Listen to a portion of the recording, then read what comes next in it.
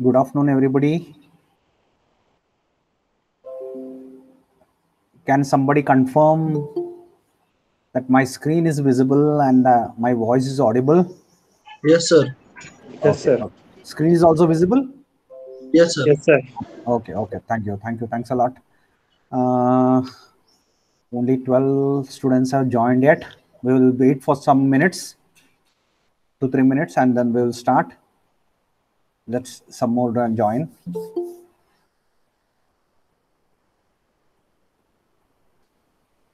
Okay, by the time anybody, any newcomer today, we will go for introduction.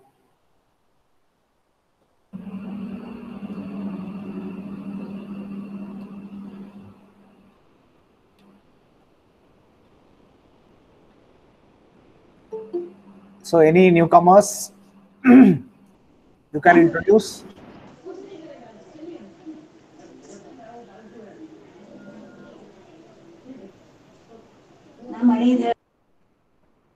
Pooja, are you a new, newcomer? Pooja,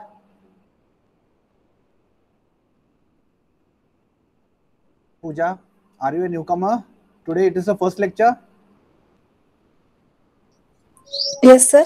Huh. Uh, uh, you are attending the lecture for first time? No, sir. No, no. Okay. Uh, so yesterday you were not there.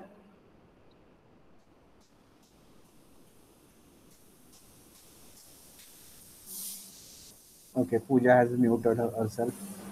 I am also newcomer, sir. Huh, so please introduce yourself.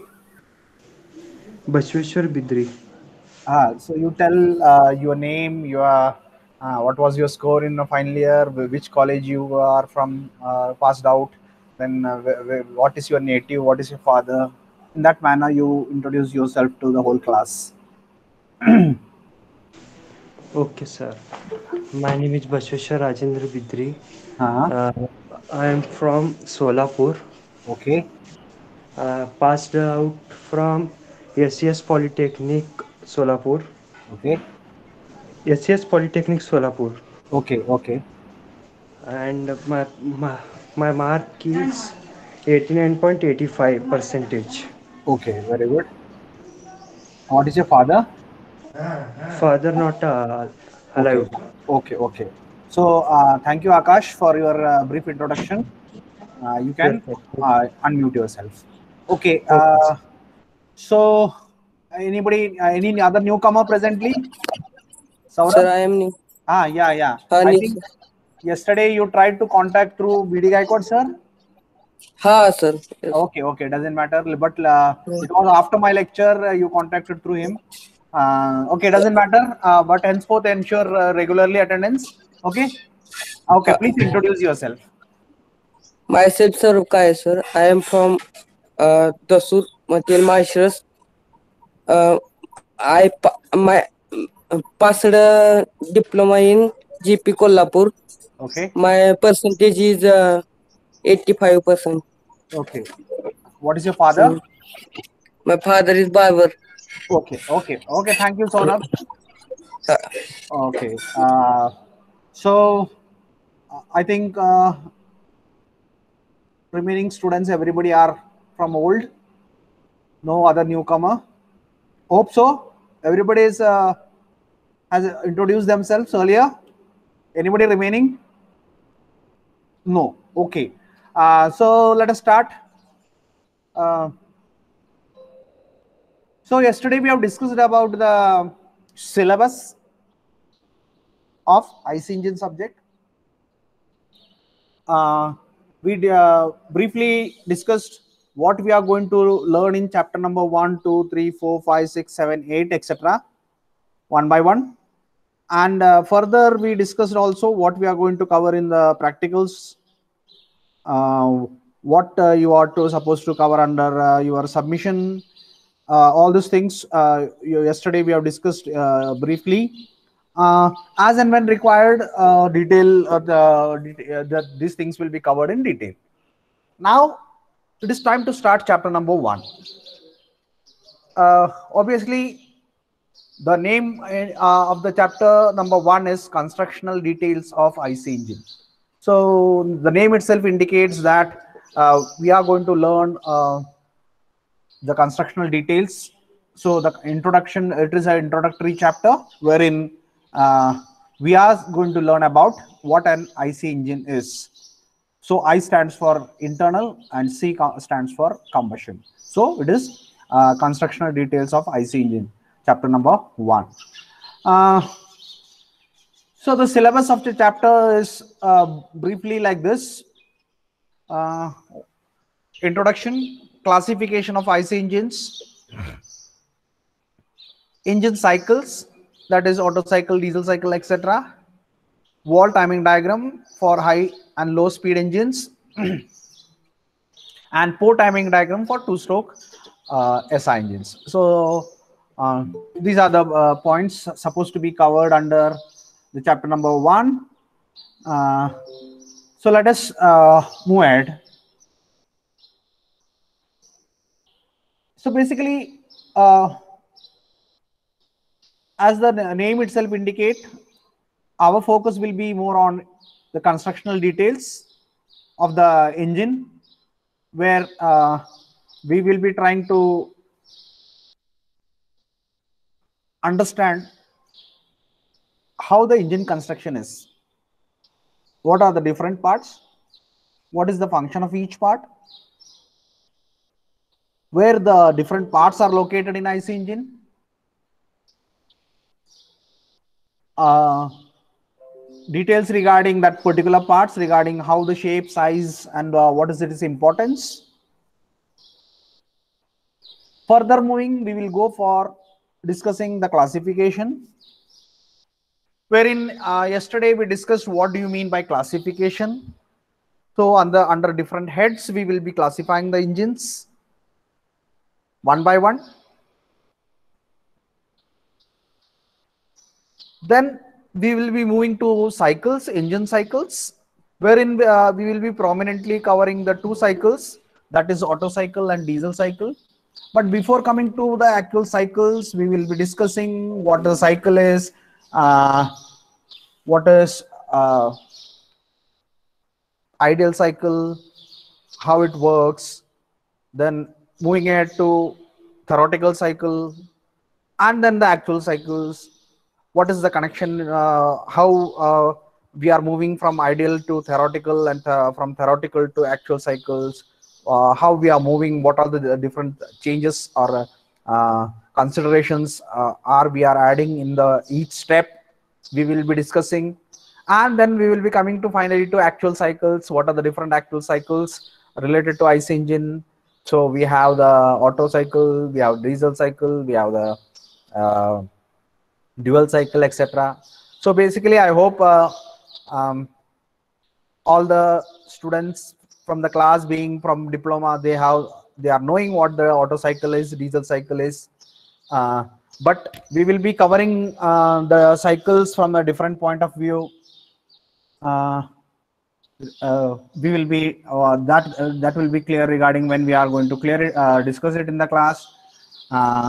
Then we do have something called as a timing diagrams so related to how the engine works when the walls are opening and closing when the ports are opening and the closing uh, during a uh, during a rotation of the crankshaft.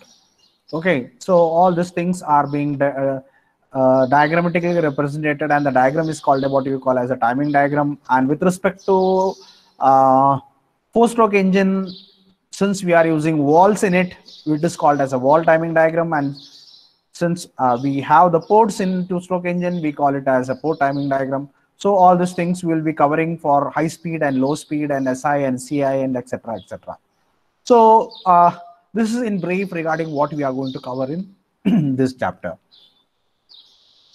Now still the number of students are less. Uh, yesterday we have almost 25 and today we are uh, less than that okay some 24 students have started.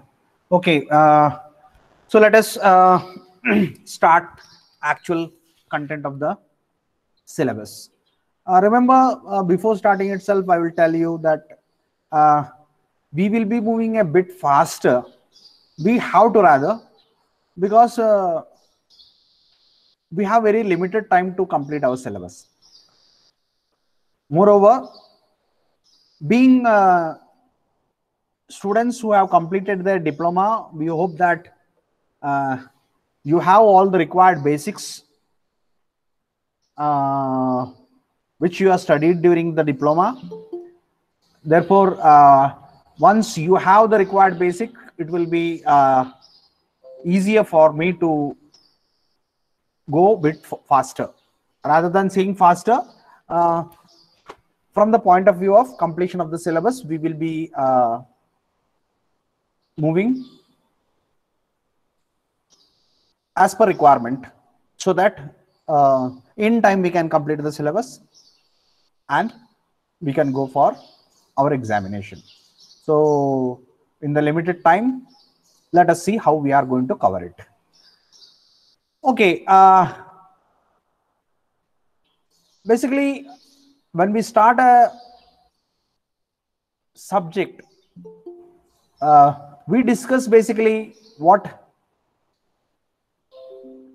the name of the subject means. So the name uh, is name of the subject is internal combustion engine. Now, when we say internal combustion engine, word internal means inside, combustion means burning of the fuel for generation of heat, for energy conversion, and uh, engine means a device which converts the energy from one form to another. Okay, so uh, in short, we will say that we are going to learn about a device which is going to convert uh, energy from one form to another preferably here since we are going for combustion we are going for conversion of chemical energy into mechanical energy. And in between it is taking some thermal form so that is where the combustion car is coming into picture. So we have the fuel. We are going to burn it. So the combustion is happening. The chemical energy is converted into initially into thermal energy and the thermal energy is later on converted into mechanical energy which, which we are getting as output of the engine from the shaft. Okay? And all these things are happening inside a specific area which we call as combustion chamber and therefore the word is coming into picture inside internal. Okay? Uh, and that is how we have internal combustion engine. So uh, energy conversion device which is taking in uh, some energy in the form of some chemical energy that is the fuel energy converting it into heat energy that is by combustion and then converting that uh, heat energy into mechanical work by me- some mechanism which we have which we call as a piston cylinder arrangement. Okay? So piston cylinder connecting rod crankshaft arrangement is there. Uh, so this particular um, me- mechanism allows us to convert uh, heat energy into uh, mechanical work. And that particular uh, setup is what you call as an engine. So we have what we call as internal combustion engine. Okay? So that is uh, what an engine is so basically the word uh, engine starts from heat engine. Okay? So here it is written the definition of an engine. An engine is a machine used for converting one form of energy to another form preferably into mechanical form. Okay?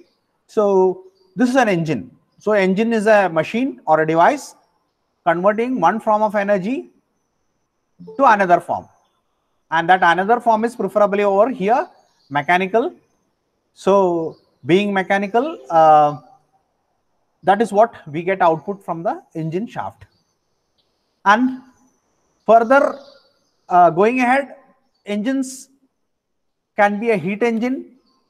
So a, heat engine is a system that includes conversion of heat to thermal energy heat or thermal energy into mechanical work which can be done used which uh, can then be used to do some mechanical work. Okay? So preferably we are converting thermal energy into thermal energy into mechanical work. Okay? So mechanical energy. And here in the figure it is clearly shown. We have some uh, heat engine over here. So uh, if you have learned that uh, basically most of uh, you have learned the thermodynamics in uh, diploma also so you know you have well know was with this particular figure okay? Accounted with this particular figure. You can see over here this is what we call as a heat source. This is a heat sink. And uh, in between these two, two temperature uh, sources we have one engine working. So this is your engine okay? Heat engine. And what the heat uh, heat engine is doing? It is taking some heat from heat source and uh, uh, giving some part of it into heat sink and rest is being converted into work. So uh, we we write like something like q is equal to uh, w plus qc or qh is equal to uh, sorry uh, w is equal to qh minus qc okay? So whatever the amount of work produced is the difference between what we take it from uh, the source and what we give it to sink. Okay? Qh minus qc is equal to w so this uh, we have learned in thermodynamics. And this is what you call as a heat engine. Okay? So this is our basic thing. Basic uh, engine is, is this particular thing what is what we call as a heat engine. Now there are two types of heat engines. One is an external combustion engine and an internal uh, combustion engines. Okay? So heat engines are being classified into two types. That is internal combustion engine and external combustion engine. Now what is external combustion engine. External combustion engine if the combustion of the fuel takes place outside the engine cylinder it is an external combustion engine. So uh, if you go for uh, application something like a um, thermal power plant where the energy conversion from uh, is happening in the turbine where the steam is going to impinge on the blades of the turbine rotor impeller and the energy in the steam is being converted into mechanical energy. Okay so the with some uh, energy the steam is being impinged uh, uh, through jet. The steam is coming on the blades of the impeller. So that velocity or pressure whatever the type of energy it is possessing that is being converted into mechanical work okay so that is uh, the energy conversion happening. But is that the combustion is happening in the turbine? Obviously no. The combustion is happening in the furnace. And that particular heat is used in the boiler to produce the steam.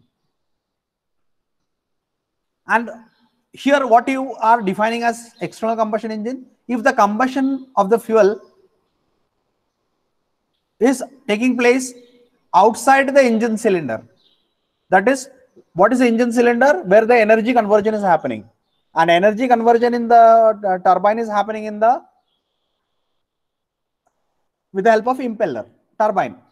Correct? So the combustion is not happening in the uh, turbine. It is happening in the furnace. So it is outside. Therefore the steam turbine gas turbine etc they all, all are coming under the category of external combustion engines. External combustion engines. Okay? So uh, that is how we have the uh, example of external combustion engine. And we have next category what you call as the internal combustion engine. If the combustion takes place inside the engine cylinder it is called as internal combustion engine. That is uh, if you take the example of an engine ice engine then uh, we have got what you call as a combustion chamber and in the combustion chamber we have a piston. So in the combustion chamber the fuel is being burned energy is being produced that energy is being applied in the form of pressure on the piston. Piston is being pushed and that particular energy is being converted into mechanical work. So the energy conversion and combustion is happening in the same region that is inside the engine and therefore it is called as an internal combustion engine. So one is external combustion engine wherein combustion is happening in the area other than where the energy conversion is happening and in the internal combustion engine combustion is happening inside the engine only so that is where the difference between internal combustion engine and external combustion म्हणजे external combustion engine मध्ये काय होतंय जिथे energy energy conversion होतंय तिथं combustion होत नाहीये combustion दुसरीकडे कुठं तर होतंय फॉर एक्झाम्पल टर्बाईन टर्बाईन मध्ये टर्बाईन मध्ये काय होतंय फर्नस मध्ये फ्युअल जळतंय तिथून हीट तयार झाली. ती हीट वापरून बॉयलरमध्ये स्टीम तयार केली गेली.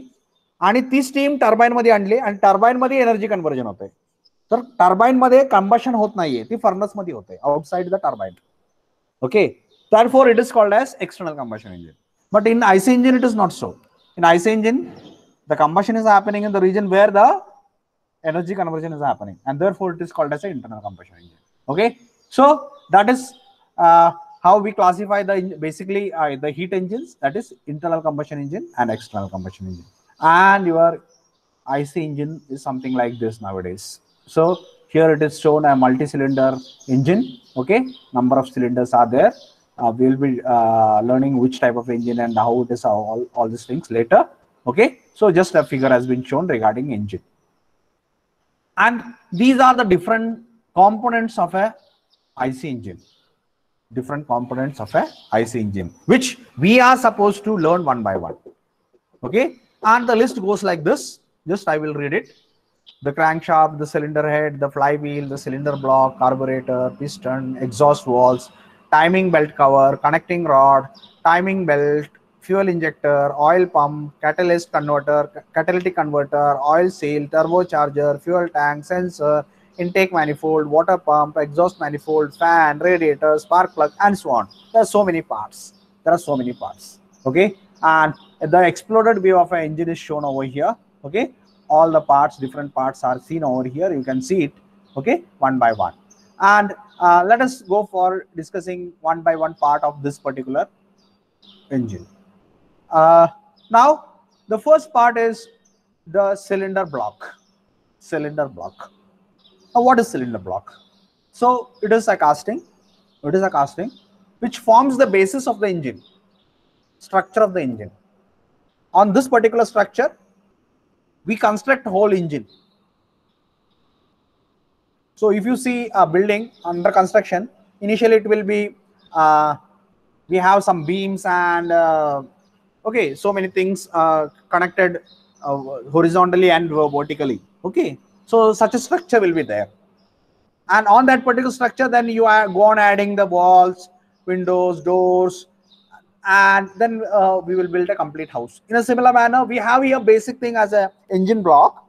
And on the engine block you will go on putting all the things. You will put the piston and cylinder inside uh, piston inside the cylinder connecting rod crankshaft inside outside we will put the uh, on the upper part we will put the cylinder head on the lower part we will uh, put the crankshaft. We will connect all the accessories on the sides okay? And then it becomes a complete engine. So uh, this becomes the basis for this particular type of engine. So all the things are connected it becomes like this but this is the basis on which we are connecting all the things okay? And such a thing where we have number of holes for putting the uh, pistons. So these particular holes are called as cylinders okay? So this thing uh, this uh, so uh, cylinder block is the basic engine casting block wherein we have the holes which we call as cylinders in which we are supposed to put our uh, pistons and uh, on the pistons we are connecting the connect, uh, connecting rod and then finally we will put a crankshaft over here. So all the things one by one from the top sides bottom every side from all the sides we will connect. So this becomes the basic block so cylinder is made up of steel or aluminum alloy. Okay? It can be made of steel. If our engine is uh, we want to be very lighter one then we will uh, prefer aluminum alloys because uh, comparatively aluminum is lighter than uh, steel. So uh, that we have uh, it accommodates that is the cylinder block accommodates piston. So here we will put the piston and allows it to move and fro it will move fro up and down. To and fro means up and down over here. And develop the power. In while it is moving up and down it is converting the energy thermal energy in the piston uh, sorry in this combustion chamber into mechanical work. It withstands high pressure and temperature because the combustion is happening in this particular region. And here it is supposed to withstand high temperature and pressure. So uh, the why it is uh, now here it becomes uh, important this because it is important because here you can see it is going to withstand the temperature and pressure because the combustion is happening in that particular region and if uh, the combustion is happening, obviously, a uh, temperature will be high, the pressure is going to be high, and the cylinder should be able to withstand the temperature and thermal, uh, that is, thermal and mechanical stresses.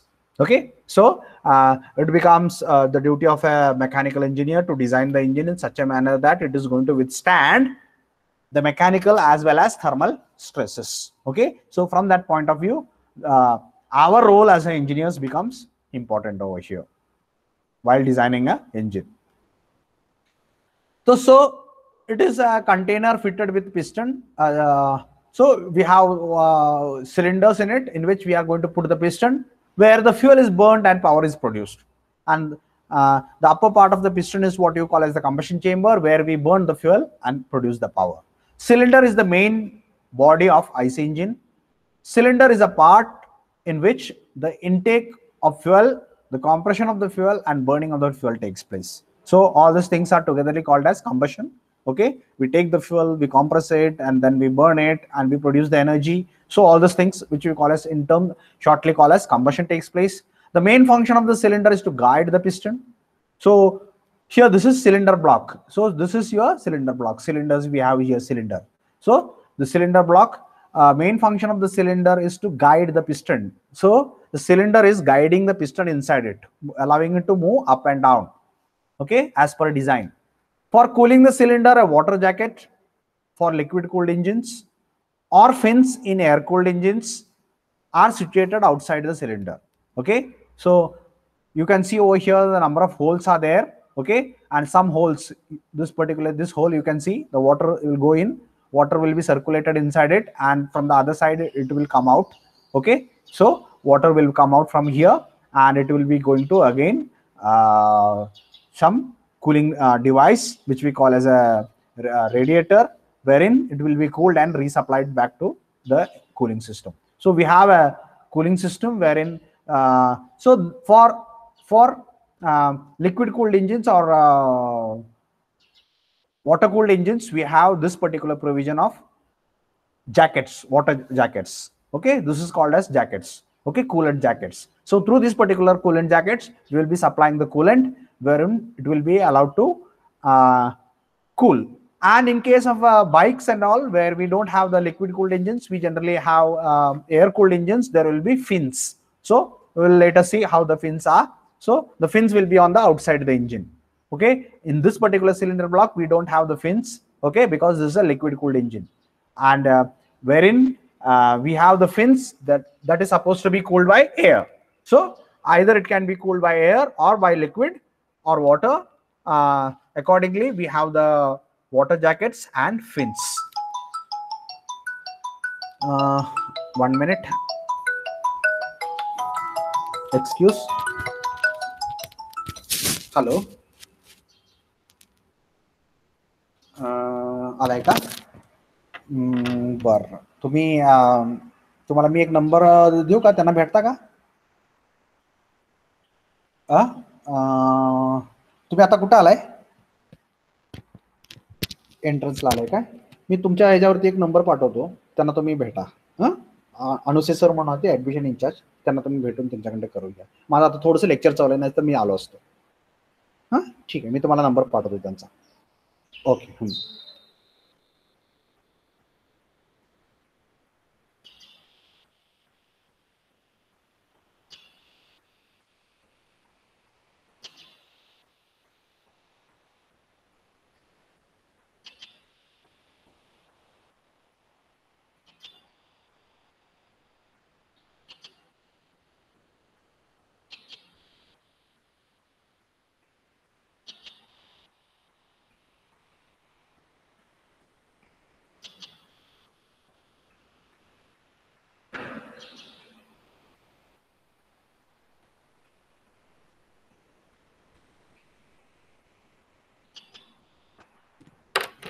hold on for one minute and just uh, I have some uh, an important call.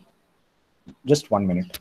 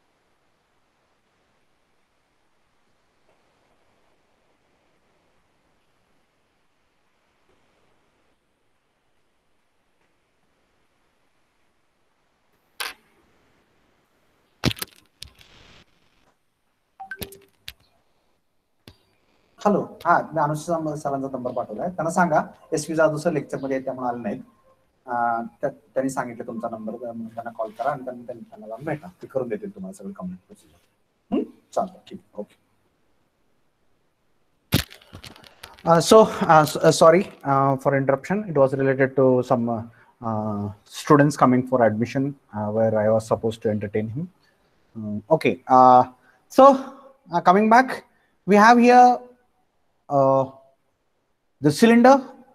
So, what happens uh, in a cylinder? Cylinder is a guide for piston. So, inside that uh, cylinder block, cylindrical hole, the piston is moving up and down, and it is converting energy from one form to another we have uh, liquid cooled engines or air cooled engines so if we have liquid cooled engines we have air jackets म्हणजे water jackets असतात water jackets कुठल्या इंजिनला असतात liquid cooled इंजिन्सला air jacket air cooled इंजिन्सला काय असतं मग फिन्स तर ती फिन्स कशी असते ती नंतर तुम्हाला दाखवेन. At the upper end of the cylinder cylinder head is placed म्हणजे ह्याच्यावरती आपल्याला बसवणार ती सिलेंडर हेड ह्याच्यावरती जे काय बसतं त्याला आपण सिलेंडर हेड असं म्हणतो. आणि ह्याच्या खाली जे काय बसतं त्याला सिलेंडर क्रँकेस असं म्हणतो. तर ह्याच्या खाली क्रँकेस असती ह्याच्यावरती सिलेंडर ब्लॉक सिलेंडर हेड असतो.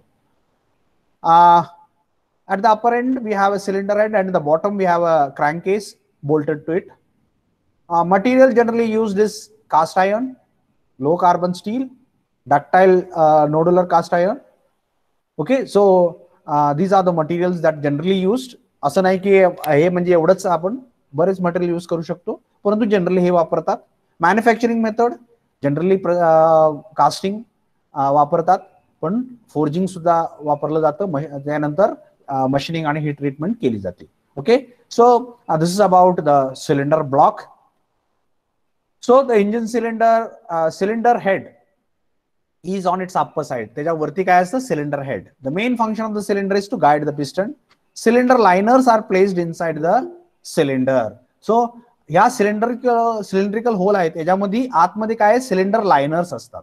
तर लायनर्स म्हणजे काय? तर just pipe like structure pipe like म्हणजे त्याला uh, एक आयडी असते एक ओडी असते. बरोबर? इनर डायमीटर असतं एक आउटर डायमीटर असतं. पाईप सारखं.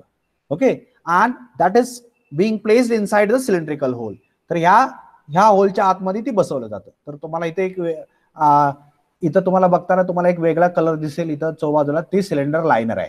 आता ही का कशासाठी असतं असतं? कारण हे जे मटेरियल असतं जनरली सॉफ्ट असतं. परंतु सॉफ्ट असल्यामुळे ती वेअर आउट होतं. परंतु ह्याच्यामध्ये व्हायब्रेशन टेकिंग कॅपॅसिटी जास्त असते. परंतु आपल्याला महत्वाचं काय आहे की सिलेंडरमध्ये combustion चेंबरमध्ये heat resistance thermal resistance is more important okay thermal and mechanical stresses has to be taken आणि त्या दृष्टीनं आपल्याला दुसरं मटेरियल लागतं मग. कारण दुसऱ्या प्रॉपर्टीज पाहिजे. मग काय करतो आपण? दुसऱ्या मटेरियलचं आपण काय करतो? एक लायनर बनवतो सिलेंडर लायनर बनवतो आणि त्या सिलेंड्रिकल होलमध्ये टाकतो. That is what you call as a cylinder liner so cylinder liners are placed inside the cylinder cylindrical hole. And uh, gray cast iron, if you use, we have the wear and corrosion resistance. Aluminium alloys, if you use, are better having better casting properties. So we have the cylinder blocks. Cylinder blocks generally असे असतात हे rotary type of इंजिनचं cylinder block आहे आणि हे V eight टाईपचं इंजिनचं cylinder block आहे तर cylinder block एकंदरीत बघताना असे दिसतात हे तुमचं दिसतंय ते सिलेंडर ह्याच्या आतमध्ये पिस्टन बसतो दुसऱ्या बाजूला इथं से- असाच याच्या ऑपोजिट साईडला इकडे एक होल असेल त्याला दुसरा सिलेंडर इथं चार तिकडं चार म्हणून त्याला व्ही एट ही व्ही शेपमध्ये आहे असं आणि असं. आणि इथं आपल्याला क्रँकशाफ्ट असतं. या क्रँकशाफ्टला कनेक्ट केलेलं आहे. असं व्ही शेप तयार होतो म्हणून याला व्ही नाव दिलंय. आणि इकडे चार तिकडे चार असं आठ एकूण सिलेंडर आहेत म्हणून त्याला व्ही एट असं नाव दिलं. मग तसं व्ही ट्वेल्व व्ही सिक्स असं वगैरे आपण म्हणू शकतो.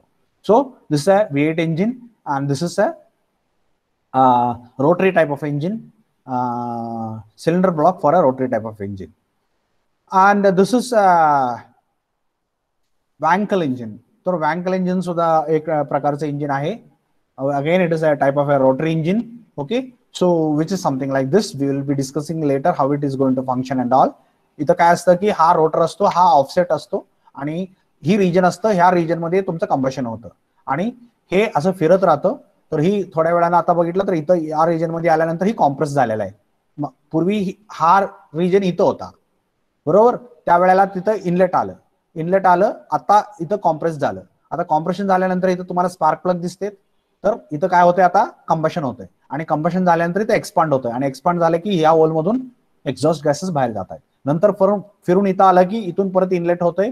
कॉम्प्रेस होऊन इकडं अशा प्रकारे जाते म्हणजे इथं ॲट अ टाइम तीन सायकल्स चालू आहेत. ही आता इंटेक फेजमध्ये आहे. ही एक्झॉस्ट फेजमध्ये आहे. आणि हे कंबशन फेजमध्ये आहे. ही फिरून ज्या वेळेला ही बाजू इथं येईल त्या वेळेला जी काय कंबशनमध्ये आहे ती एक्झॉस्ट होणार. आता जी काय एक्झॉस्टमध्ये आहे ते इंटेक मोडमध्ये येणार आणि आता काय इंटेक मोडमध्ये आहे ते कंबशनमध्ये येणार. आणि हीच आहे ती फिरून इथं आलं की इथं परत ती इंटेक मोडमध्ये आलं. बरोबर? असं ती फिरत फिरत राहते म्हणजे साय सायमल्टेनियसली तीन सायकल्स चालू असतात या वँकल टाईप ऑफ इंजिनमध्ये. Mazda has generated such produce such engines परंतु इथं एक डिसएडव्हान्टेज आहे की इथं जे आहे इथं जी काही सील्स लागतात सील्स लागतात. आणि very high speed engines these are very high speed engines आणि त्यामुळे काय होतं की इथं जी सील्स आहेत ती वेअर आउट होतात आणि मग नंतर या रिजन मधून या रिजनमध्ये किंवा या रिजन मधून या रिजनमध्ये असं लिकेज व्हायला चालू होतं. Okay and that becomes a very big problem so the leakage is one of the big problem for Wankel engine and that is why this particular type of Wankel engines are not that popular okay जरी खूप efficient असलं तरी सुद्धा हे टाईपचे engine जास्त popular होऊ शकले नाहीत कारण यात विअरिंग ऑफ द सील्सचा प्रॉब्लेम खूप येतो. हे तुमचं इंजिन असं दिसतं. कट सेक्शन दाखवलेलं आहे. इथं तुमचं पिस्टन आहे. हा सिलेंडर आहे. बरोबर? या सिलेंडरमध्ये इथं तुम्हाला पिस्टन दिसतंय. या पिस्टनच्या खाली कनेक्टिंग रॉड आणि क्रँकशाफ्ट असेल. ही कंबशन चेंबर दिसतोय. हा इनलेट मॅनिफोल्ड दिसतोय. या इनलेट मॅनिफोल्ड मधून एअर आलं. इथं इंजेक्टर बसवलेला आहे. त्या इंजेक्टर बसव इंजेक्टर मधून फ्युअल आतमध्ये येणार. बरोबर? कंबशन होणार. सीआय इंजिनबद्दल बोलतोय. म्हणून आपण इंजेक्टर बोललो. आणि ह्याच्याच मागच्या बाजूला दुसरं एक मॅनिफोल्ड असेल त्यातून एक्झॉस्ट एक्झॉस्ट होणार. म्हणजे पिस्टन असा असं मूव्ह होणार. That is to and fro किंवा अप अँड डाऊन आणि इथं कॉम्प्रेशन वेगळ्या वेगळ्या प्रोसेस होणार. बरोबर? इनटेक कॉम्प्रेशन एक्सपान्शन एक्झॉस्ट वगैरे सगळे प्रोसेस इथं होत राहतील. आणि ही त्या त्या ह्या मॅनिफोल्ड्सला ओपन होण्यासाठी जे वॉल्स आहे आणि ह्या वॉल्सला ऑपरेटिंग मेकॅनिझम इथं आहे. तर तुम्हाला आतापर्यंत तुम्ही जी काही ब्लॉक बघितलं ते इथून वरचं होतं तुम्हाला ही होल दिसत होतं. आणि त्याच्यावरती आता ही सिलेंडर हेड बसवल्यामुळं हे झाकलं गेल्यासारखं दिसतंय. बरोबर? तर ही रेग तुम्हाला इथं दिसते. So that is the point where the head is being separated from the block हा ब्लॉक भाग आहे आणि हा सिलेंडर हेडचा भाग आहे. सिलेंडर हेड वरती ठेवल्यामुळं ही झाकलं गेलं. Okay so that is how the engine construction is आणि सिलेंडर हेड एक फोर सिलेंडर इंजिनचं सिलेंडर हेड खालच्या बाजून असं दिसतंय. तर तुम्हाला ही कुठली बाजू आहे? ही इथली बाजू आहे. ही वॉल आहे. ही ही ही वॉलची ही गोल दिसतंय. हा तुम्हाला इथं दिसतोय. ही वॉल दिसत आहेत बरोबर? तर हे एका सिलेंडरचे दोन वॉल दुसऱ्या सिलेंडरचे दोन वॉल तिसऱ्या सिलेंडरचे दोन वॉल आणि चौथ्या सिलेंडरचे दोन वॉल. त्यातला एक इंटेक वॉल असतो एक एक्झॉस्ट वॉल असतो. बरोबर? आणि ही रिजन असतं ह्याला कंबशन चेंबर म्हणतात. आणि ह्याच्या खाली पिस्टन असतं. बरोबर? तर ही this is that is valves are part of cylinder head okay so we have the cylinder head for a four uh, cylinder engine cylinder engine uh, cylinder head is one of the cylinder uh, one of the one end of the cylinder is closed by means of cylinder head. एक बाजू सिलेंडरची एका बाजू close कशाने केली आहे? Cylinder हेडने केली आहे. This consist of inlet valves त्याच्यामध्ये इनलेट वॉल असतात एक्झॉस्ट वॉल असतात. आणि इनलेट वॉल कशा कशा असतात?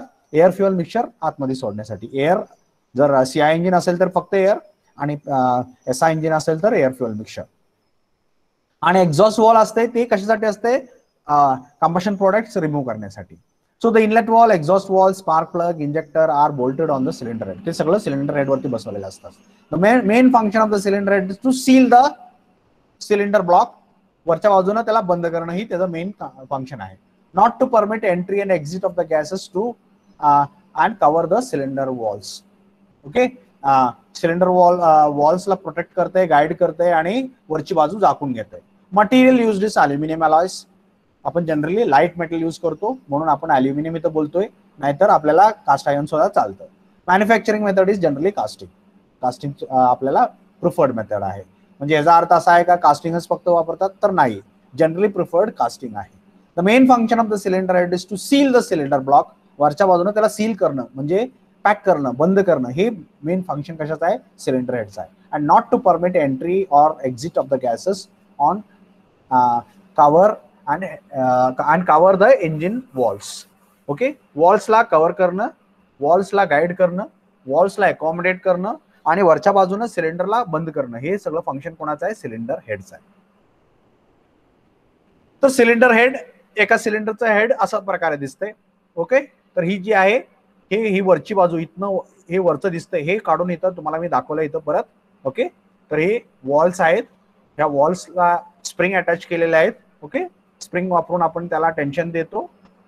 बंद करण्यासाठी किंवा लिकेज प्रिव्हेंट करण्यासाठी आपण त्याला टेन्शन देतो. ओके ही इनलेट अँड एक्झॉस्ट मॅनिफोल्ड्स आहेत. आणि ही खालची बाजू जी का कंबशन चेंबर सिलेंडर म्हणजे हे आपण खालची बाजू सिलेंडर ब्लॉक वरती ठेवणार आहे. ओके ही इथं सिलेंडर ब्लॉक वरती ठेवलं की आपल्याला कट सेक्शनमध्ये दिसताना ती असं दिसत बरोबर? आणि ही जी आहे ही इनलेट मॅनिफोल्ड आणि एक एक्झॉस्ट मॅनिफोल्ड इनलेट मॅनिफोल्ड मधून आतमध्ये जाणार आणि एक्झॉस्ट मॅनिफोल्ड मधून बाहेर येणार. बरोबर?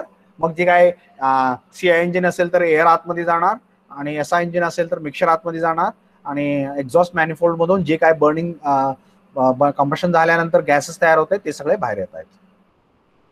तेच परत वेगळ्या अँगलनं दाखवलंय ओके तर इथं वॉल्स क्लिअरली दिसत आहेत तुम्हाला. वॉल ऑपरेटिंग मेकॅनिझम हे ज्या आतमध्ये वॉल्स आहेत.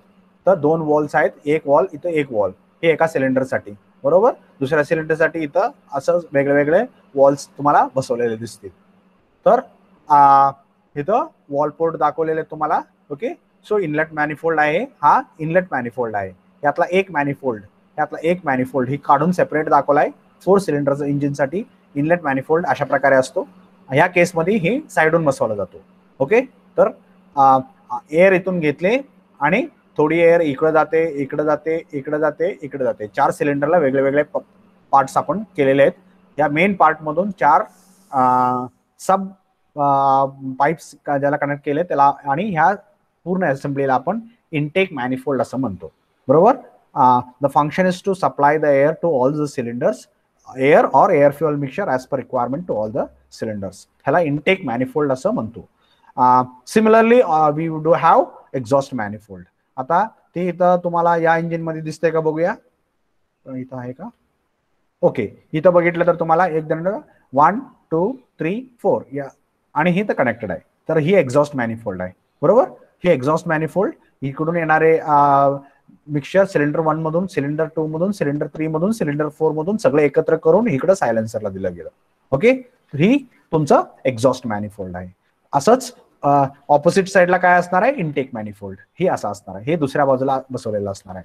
आणि so the engine inlet and exhaust manifold the main function of the manifold is to supply the air fuel mixer and collect the exhaust gases equally from all the cylinders intake manifold असेल तर supply air or air fuel mixer depending on whether it is C I or S I engine आणि exhaust manifold काय करतं? चारही सिलेंडरमधून gases collect करतं आणि ते बाहेर काढतं.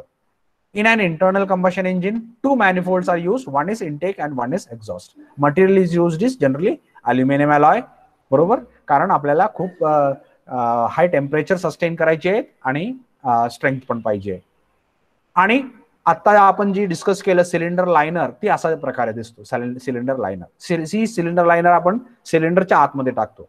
कुठं बसतो आपण? हा सिलेंडर लायनर सिलेंडर लायनर तुम्हाला इथं बसतो. हे दिसतं हे सिलेंडर लायनर आहे. इथं दिसतंय हे दिसतंय एक दोन हे ह्या होलमध्ये आतमध्ये आपण सिलेंडर लायनर टाकतो. ओके? आणि ते लायनर अशा प्रकारे असतात. ओके? तर ही जी आहे हे त्या सिलेंडर म्हणजे पहिल्यांदा जी काय होल आहे त्याला सिलेंडर म्हणालो. त्या सिलेंडर होल सिलेंड्रिकल होलच्या आतमध्ये हे लायनर टाकलं. आता ही अशी का शेप आहे जी? तर इथं पाण्याचं कॉन्टॅक्ट येतं. म्हणजे वॉटर जॅकेट मधून पाणी इथं येतं. इथं पाणी येऊन याच्या भोवतणी फिरल्यानंतर त्यातलं हीट काढून घेतं. आणि ती पाणी बाहेर जातं. म्हणजे कुलिंगसाठीही वापरलं जातं. बरोबर? तर कुलिंगसाठी आपल्याला त्याचा उपयोग होतो. मग ही काय म्हणायचं? ह्याला वेट लायनर असं म्हणतात. म्हणजे ज्याच्यामध्ये वॉटरचा कॉन्टॅक्ट डायरेक्ट लायनरला येतो. त्या टाईपच्या लायनरला आपण वेट लायनर असं म्हणतो. आणि दुसऱ्या एक प्रकारचे लायनर असतात. तिथं पाण्याचा डायरेक्ट कॉन्टॅक्ट येत नाही. मग काय असतं? सिलेंडरिकल होल आहे. आणि त्याच्यामध्ये दुसरी एक मटेरियलचे पाईप सारखं बसवलंय. ओके? तिथं डायरेक्ट कॉन्टॅक्ट येत नाही. Direct metal to metal contact फक्त येतो. पाण्याचा कॉन्टॅक्ट येत नाही. त्या केसमध्ये आपण त्याला ड्राय लायनर असं म्हणतो. आणि हे आहे ते वेट लायनर या वेट लायनरमध्ये काय होतं? वॉटर जॅकेटमधून पाणी इथं येतं. पाणी ह्याच्या भोवतानी सगळं पाणी असतं. बरोबर? आतमध्ये कंबाशन आहे पिस्टन आतमध्ये वरती खाली मूव्ह होतोय. सगळं होतंय. आणि इथं पाणी असतं तर ह्या पाणी काय करतंय? आतमधली हीट आहे ती काढून घेते एक्स्ट्रा हीट आहे ती आणि ती बाहेर काढून टाकतंय. Okay? So that is how we have the cylinder liner and this is a Uh, what you call as a wet liner. Similarly, we do have uh, dry liners also. आता next part is your piston pins piston pin piston pin कुठं connect करतात? तर ही जी आहे ह्या होलमध्ये आपल्याला जी काय pins बसवायची आहे ती अशा प्रकारचे पिन्स असतात. ओके आणि ह्या पिन्सनं आपण uh, पिस्टन आणि कनेक्टिंग रॉडचं कनेक्शन करतो. हे झालं कनेक्टिंग रॉड आणि हे झालं तुमचं पिस्टन तर पिस्टनच्या आतमध्ये इथं कनेक्टिंग रॉड जातं आणि ह्या इथून ह्या होलमधून तुम्ही काय टाकताय? पिस्टन पिन और गजन पिन ह्याला gudgeon pin G U D G E O N gudgeon pin किंवा पिस्टन पिन असं म्हटलं जातं. तर ही अशी बसते. आणि इथं रिंग्स आहेत. हे रिंग्सचं काम काय आहे? रिंग्सचं काम त्याला तिथं धरून ठेवणं आहे. Okay it ensures that it is not coming out नाहीतर कधी इकडं मूव गाडी इकडं मूव झाली की ते इकडं सरकेल तिकडं मूव झाले की तिकडं सरकेल असं नाही होता कामा नये okay? So we have to maintain its position always at one particular location and therefore we have this particular rings over here. आणि हा पार्ट आहे तो कनेक्टिंग रॉड आहे. तर कनेक्टिंग रॉड आणि ही ही कुठं जाणार आहे? हे इथं पिस्टनच्या या रिजनला इथं ह्याला बॉस म्हणतात. तर ही या ह्या रिजनला बॉस म्हणतात. बॉस पिस्टन बॉस तर इकडे एक बॉस आहे तिकडे एक बॉस आहे. पिस्टन बॉस आहे. आणि इथं या रिंगचा एक बाजू येतोय. ही एका बाजूच्या बॉसमध्ये ही दुसऱ्या बाजूच्या बॉसमध्ये आणि मधल्या बाजूमध्ये ही कनेक्टिंग रॉडची याला स्मॉल एंड म्हणतात. तर पिस्टन रिंग इकडं पिस्टनच्या एका बॉसमधून small end of the connecting rod मधून पिस्टनच्या दुसऱ्या बॉसमध्ये जाते आणि इकडे एक पिन आहे आणि इकडे एक पिन आहे त्यामुळे ती धरून ठेवलं जातं. आता हे कनेक्टिंग रॉड हे असं मूव्ह होऊ शकतं. ऑसिलेट करू शकतं. Okay around this particular centre of the piston pin or it is also called as gajan pin okay so gajan pin or piston pin these are hardened steel parallel spindles through the piston bosses piston bosses मधून त्याला आपण insert करतोय and the small end bushes or eyes to allow the connecting rods to swell तर आपल्याला इथे एक बुशस टाकलेत कुठं बुशस टाकलेत याच्यामध्ये इथे एक बुशस टाकतो आपण कारण इथं विअर आउट होऊ नये म्हणून ह्याला इथं बुश टाकलेलं असतात okay so we are putting the bushes inside uh, bushes or eyes to allow the connecting rod to swell आणि त्याच्यामुळं ती कम्पॅरेटिव्ह रिलेटिव्ह मोशन घेऊ शकतं okay bushes are smooth enough to give the relative motion it connects the piston to connecting rod तर what the main function of the gudgeon pin is it connects the piston to connecting rod पिस्टनच्या आणि Connecting rod मधले मधली लिंकचं काम करतं कोण? Gudgeon pin किंवा piston pin. It is made of a hollow for lightness he generally hollow असतात. म्हणजे आतमध्ये मटेरियल नसतं. इथे सॉलिड नसतात. हॉलो असतात. का? आपल्याला वेट कमी करायचं आहे. ओके हे बघितलं तर ह्याच्या आतमध्ये होल असतं. So it is wise it is called as hollow so they are hollow to decrease the weight and material generally use this plain carbon steel आपण त्याला जनरली प्लेन कार्बन स्टील वापरतो. okay so that is about gajan pin so gajan pin connects the piston and the connecting rod so this is a piston how the piston looks like it is looks like something like this now piston is used to reciprocate inside the cylinder सिलेंडरच्या आतमध्ये ते reciprocate होत राहतं it transmits the energy to the crankshaft through connecting rod तर ही कुठं असतं piston समजा ही cylinder सिलेंडरच्या आतमध्ये तर पिस्टन सिलेंडरच्या आतमध्ये आता ही सिलेंडरचं वॉल आहे असं ग्रहित धरा तर ह्या वॉलच्या आतमध्ये इकडचं वॉल आणि इकडच्या वॉलच्या आतमध्ये वरती खालती होते. आता इथं कंबशन चेंबर आहे. इथं कंबशन चेंबर असल्यामुळे काय झालं? इथं जी काय मिक्सचर आपण सप्लाय केली ती बर्न झाली. आता बर्निंग म्हणजे काय? इट प्रोड्युसर्स हीट बरोबर? मग हीट झाल्यानंतर बर्न झालं. मग लिक्विड फ्युअल होतं ती वेपर झालं आणि वेपर बर्न झाले. आता गॅसेस तयार झाले. आता गॅसेसची क्वांटिटी खूप व्हॉल्यूम खूप जास्त असते. मग इथं खूप high amount of volume of gases are being produced त्यामुळे काय झालं? तर प्रेशर वाढले आता ही प्रेशर कुठे ऍक्ट होणार? इथं. आणि या कंपशन चेंबरच्या वॉलवरती आता वॉल्स तर काही मूव्ह होऊ शकत नाही परंतु हे मूव्ह होऊ शकतं. मग काय होतंय? इथं जेवढं काय प्रेशर ऍक्ट होतोय ते या पिस्टनला खाली दाबतंय. मग ही अशी प्रोव्हिजन का केली आहे तर आपण आता काय केलंय? इथं एक कंबशन चेंबर नावाचा एक एरिया तयार केलाय ज्याच्यामध्ये ऑलमोस्ट तीन साइडचे वॉल्स आहेत ती स्टेशनरी आहेत आणि one wall we are kept intentionally movable मग आता काय होतंय? इथं जी काही fuel air fuel mixer burn होत आहे त्याच्यामुळे जी काही गॅसेस तयार होते आणि त्याच्या व्हॉल्यूम वाढल्यामुळे जी काही प्रेशर तयार होते that pressure is going to act on the piston and the piston is going to be push down. आता ह्याला ती खाली दाबलं जाते आता when the piston is being push down okay so the pressure energy is acting on it and the in other words the pressure energy is being converted into pressure energy is being converted into mechanical work आता इथं pressure कसं तयार झालं? With the help of heat okay so temperature and pressure relation in the thermodynamics you might have learn about temperature and pressure बरोबर? बरोबर तर आपल्याला temperature वाढलं की प्रेशर वाढतं. किंवा प्रेशर वाढलं की टेम्परेचर वाढतं. बरोबर? प्रोपोर्शनली म्हणजे उदाहरणार्थ आपण पंपानं सायकलमध्ये हाव भरतो. तर ते आपल्याला जे पंप असतो आपण त्याला पंपिंग करतो आपण खालीवरती करून त्याला प्रेशराईज एअर प्रेशराईज करायचा प्रयत्न करतो. बरोबर? तर एअर प्रेशराईज केलं की तुम्ही नंतर ती पंपच्या खालची बाजू हात लावला की ती गरम होतं. का? कारण आपण तिथं प्रेशराईज केल्यामुळे हीट तयार होते. बरोबर? सो तसं इथं हीट तयार झालेली आहे. कशामुळे हीट तयार झालेली आहे? केमिकल एनर्जी बर्न करून आपण हीट तयार केली. आणि ती हीट तयार झाल्यामुळे इथं प्रेशर पण तयार झालं. बरोबर? आणि ती प्रेशर इथं ऍक्ट होते. आणि मग त्या प्रेशर ऍक्ट झाल्यामुळे पिस्टन खाली मूव्ह होते. तर what we did initially we converted the chemical energy in the fuel into heat energy बरोबर? कारण आपण बर्निंग केलं. बर्निंगमध्ये चुलीमध्ये काय होते? लाकूड जळते आणि उष्णता तयार होते. सिमिलरली हिथं फ्युअल बर्न होते आणि हीट तयार झाली. आता हीट वाढल्यामुळे प्रेशर वाढलं. आणि प्रेशर ह्याच्यावर ऍक्ट झालं. त्यामुळे काय झालं हे खाली मूव झालं आणि खाली मूव झालं म्हणजे काय तर मेकॅनिकल एनर्जी मध्ये कन्वर्ट झालं so we have converted the chemical energy into heat energy heat into pressure energy pressure into mechanical work okay so that is how uh, the energy conversion is happening inside the uh, connecting rod and piston uh, assembly so we have here piston is used to reciprocate inside the cylinder it transmits the energy to the crankshaft through connecting rod material used is aluminum alloy uh, 4652 because of its low specific gravity specific gravity म्हणजे weight कमी असतं त्याचं manufacturing method is generally used is casting generally पण असं नाही की नेहमीच casting करायला पाहिजे other methods also can be used for forging is also preferred for uh, manufacture of piston function of pistons the function of the piston is to transmit the force of explosion to the crankshaft crankshaft ला energy transfer करायचं काम कोण करतंय? Piston करतंय. To form a seal so that high pressure gases in the combustion chamber do not escape बरोबर?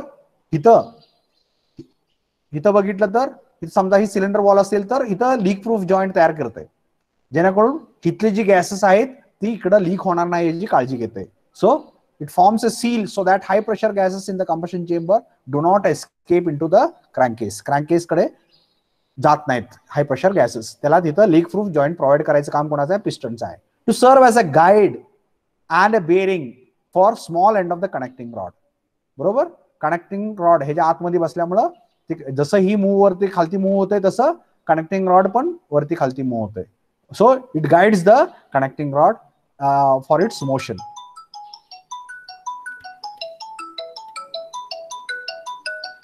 Advantage of aluminum alloy three times li- lighter than cast iron so it is lighter than cast iron and it is having higher thermal conductivity so the uh, conductivity thermal conductivity is higher okay uh, is that uh, things required if you use aluminium alloy okay जर aluminium वापरलं तर आपल्याला light in weight असतं आणि दुसरी गोष्ट thermal conductivity जास्त असते disadvantages it is not as strong as cast iron एवढी स्ट्रेंथ कमी असते.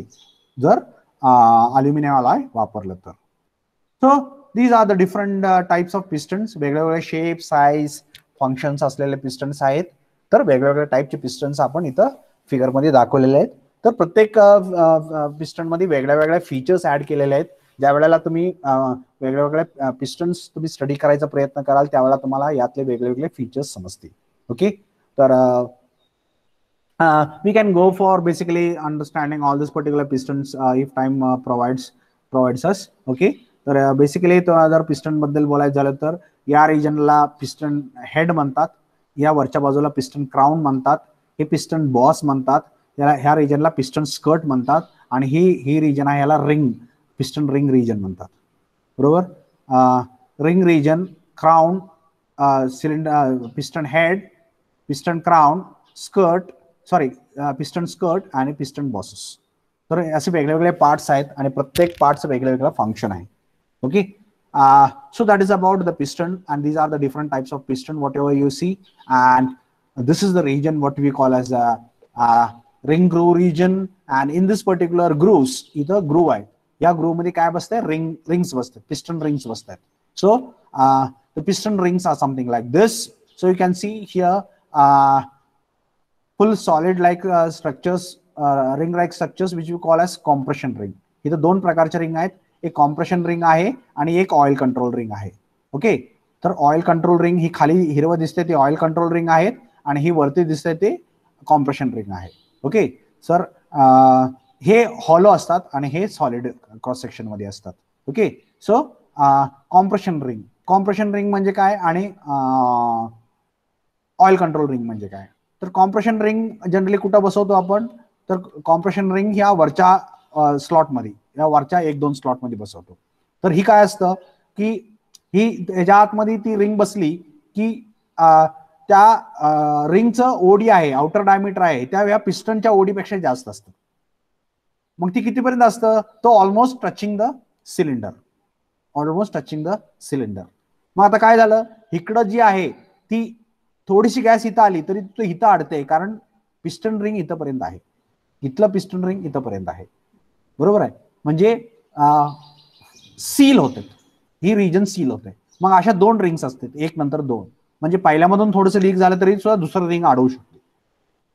तर ह्या इथलं गॅस आहे ती कॉम्प्रेस होतोय. आणि या कॉम्प्रेस्ड एअर फ्युअल मिक्सरला किंवा चार्जला हे सील करते म्हणून त्याला कॉम्प्रेशन रिंग असं म्हणतात. तर वरची जी रिंग्स आहेत ही लाल दाखवलेली आहेत. त्याला नाव आहे compression ring okay so we have a top compression ring and second compression ring first or second first is also called as top compression ring आणि त्याच्यानंतर हे थर्ड आहे ही थर्ड रिंग आहे त्या रिंगला आपण ऑइल कंट्रोल रिंग असं म्हणतो. Okay तर हे ऑइल कंट्रोल रिंगचं फंक्शन काय आहे? To ensure that oil is being applied and scraped on the cylinder wall cylinder wall वरती uh, योग्य प्रमाणात ऑइल मेंटेन करणं. कुठलं ऑइल लुब्रिकेटिंग ऑइल तर लुब्रिकेटिंग ऑइल योग्य प्रमाणात तिथं मेंटेन करणं. आता लुब्रिकेटिंग ऑइल का वापरलं? कारण आता आपल्याला माहिती आहे आता जस्ट आपण डिस्कस केलं की या पिस्टनचा रिंगचा ही बाहेरची बाजू आणि सिलेंडरची सरफस ह्याच्यामध्ये कॉन्टॅक्ट येणार आहे. म्हणजे इथं फ्रिक्शन तयार होणार आहे. आणि जिथं जिथं फ्रिक्शन असतं तिथं आपण लुब्रिकेटिंग ऑइल वापरतो.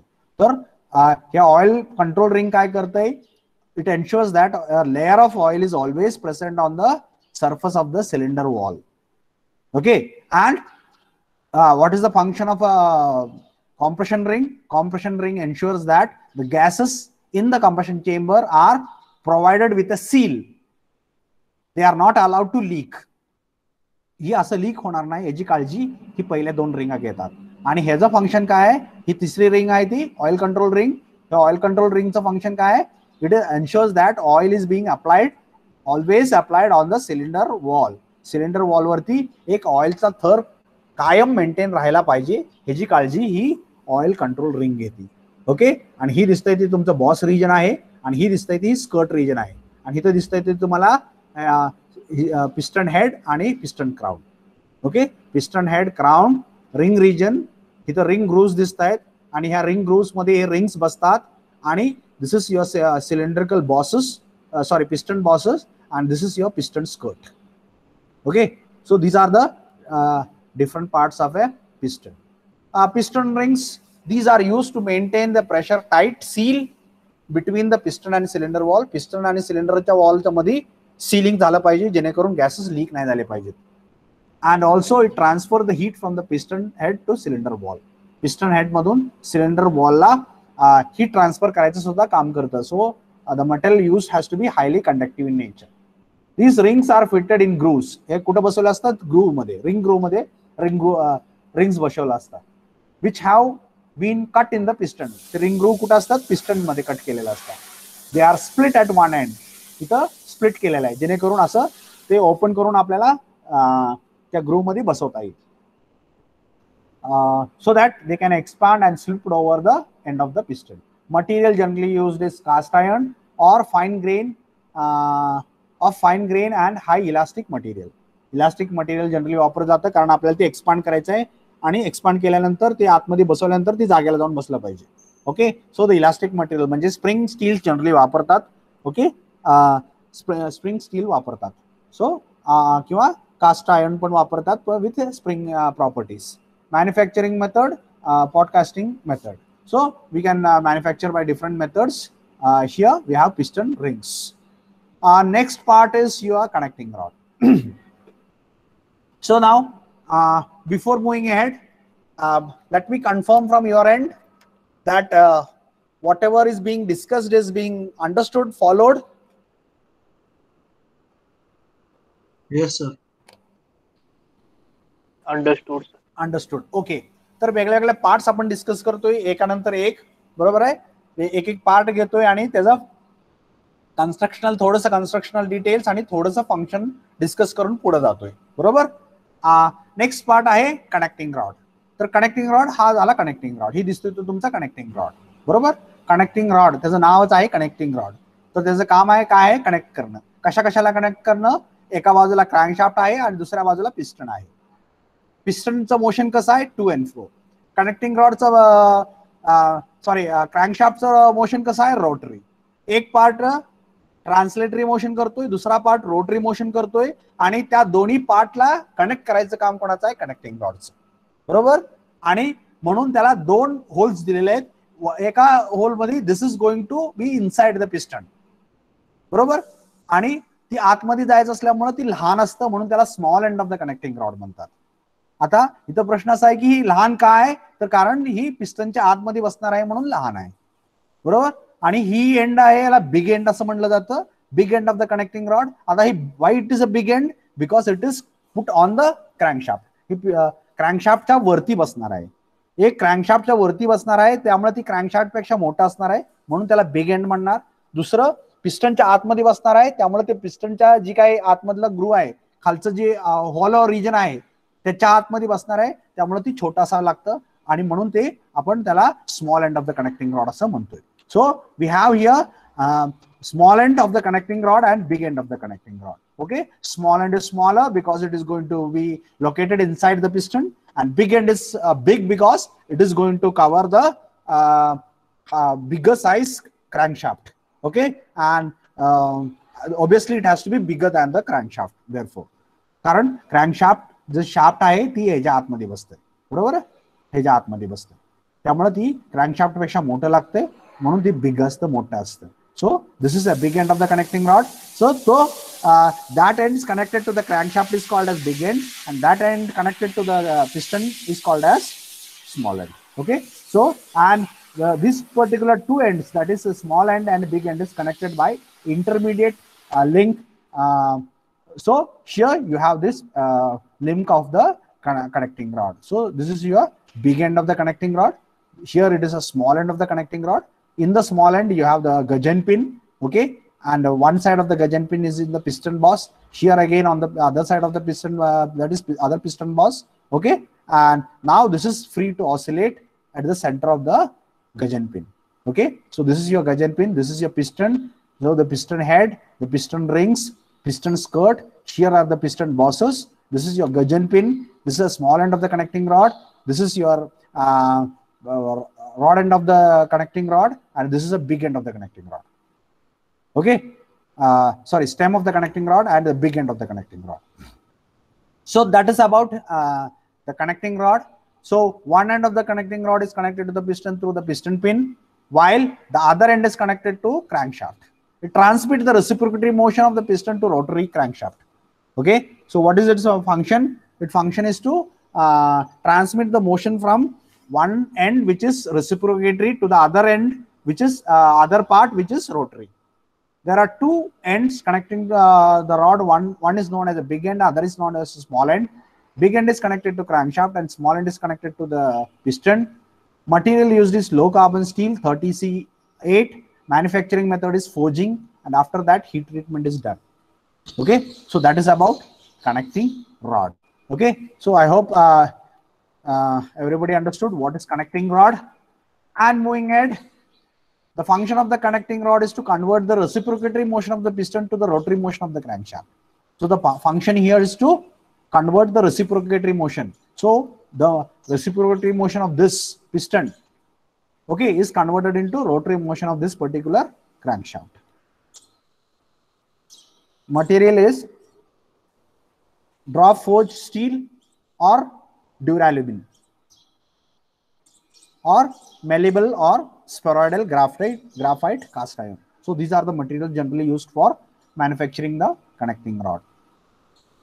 And these are the different types of uh, connecting rods uh, what we have okay?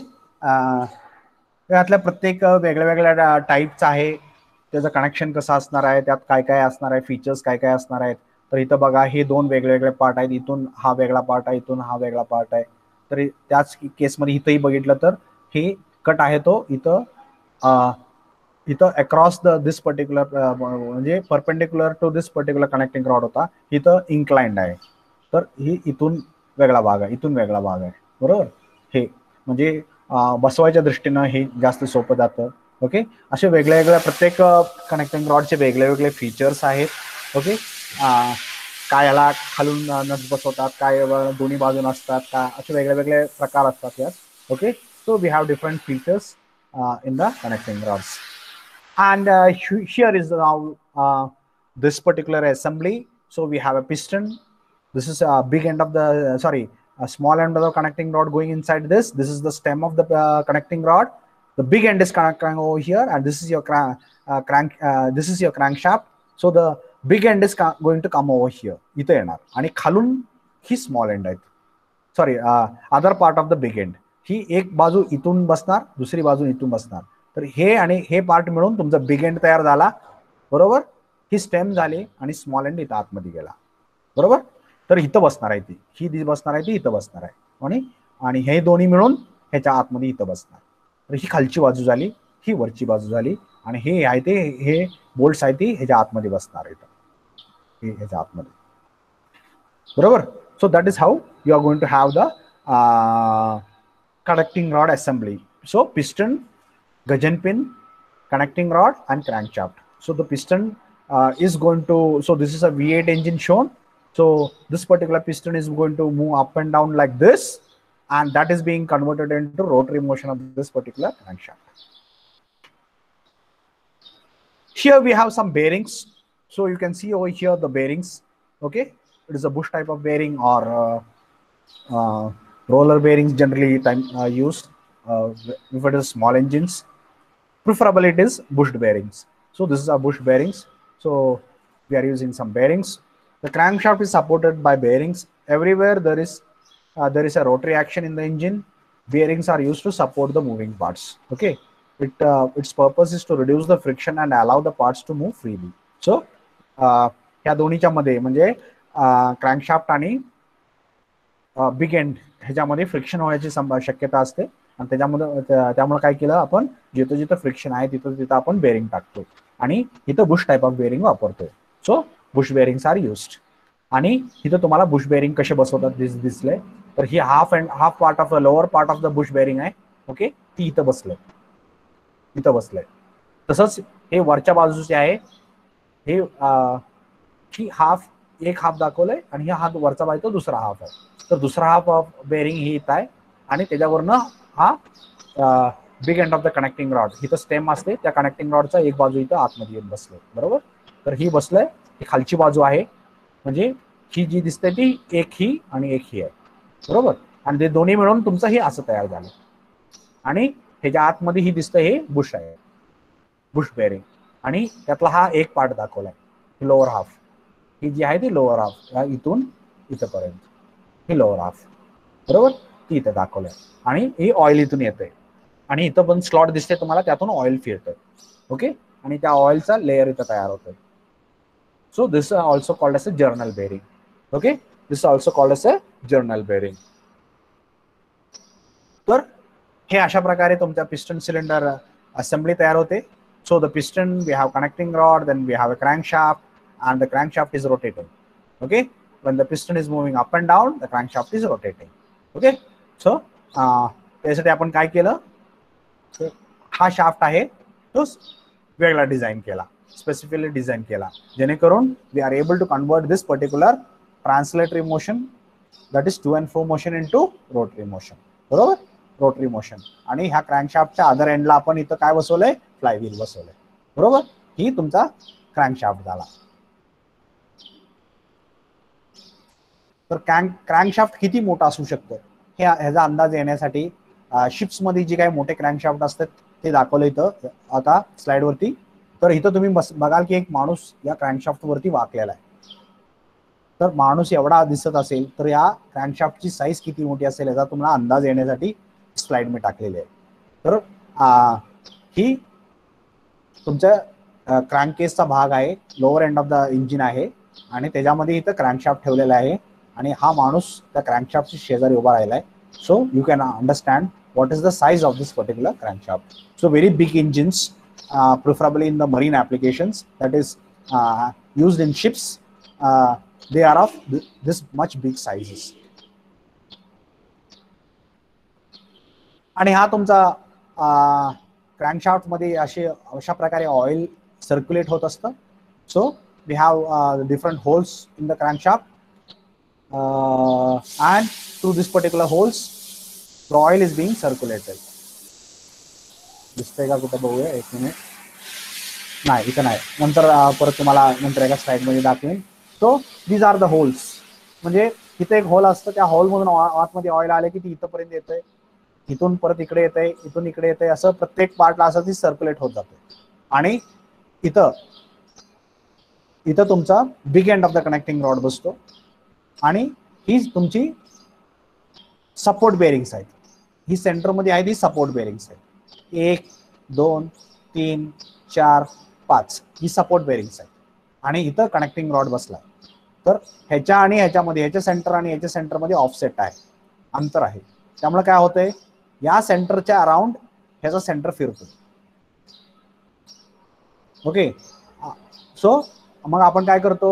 आपण जनरली आता तुम्ही बघितलं असेल आपण जनरली इंजिनबद्दल ज्या वेळेला बोलतो त्यावेळेला इंजिनबद्दल बोलतो त्यावेळेला आपण त्याला कसं डेमॉन्स्ट्रेट करतो? With the help of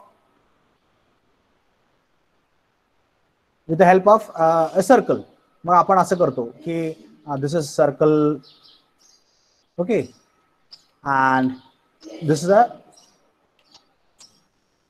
इथं पिस्टन आपण असं काढतो. बरोबर?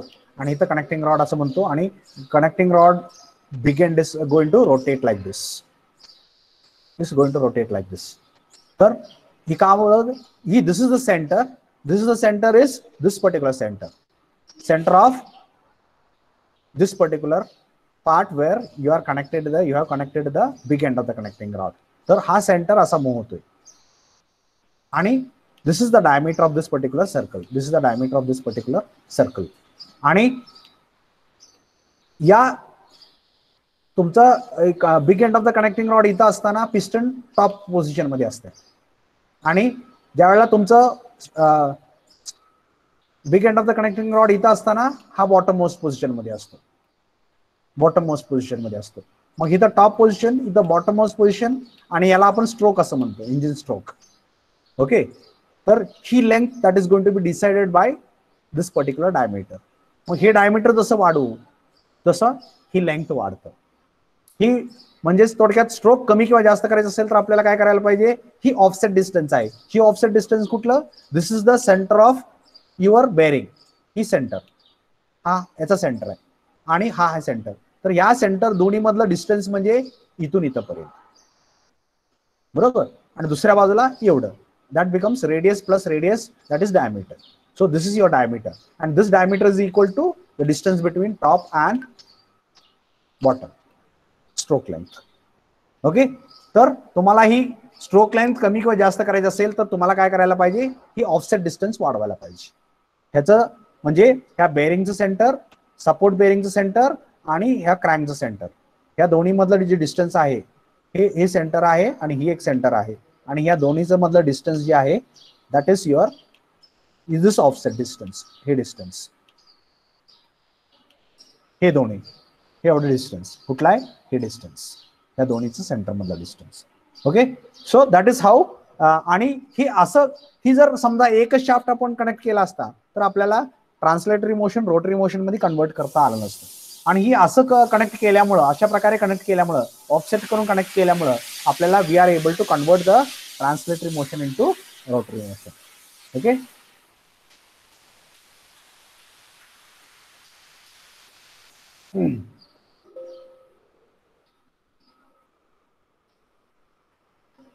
Uh, so the function of the crankshaft is to receive the effort or thrust supplied by piston piston कडून एनर्जी absorb करायची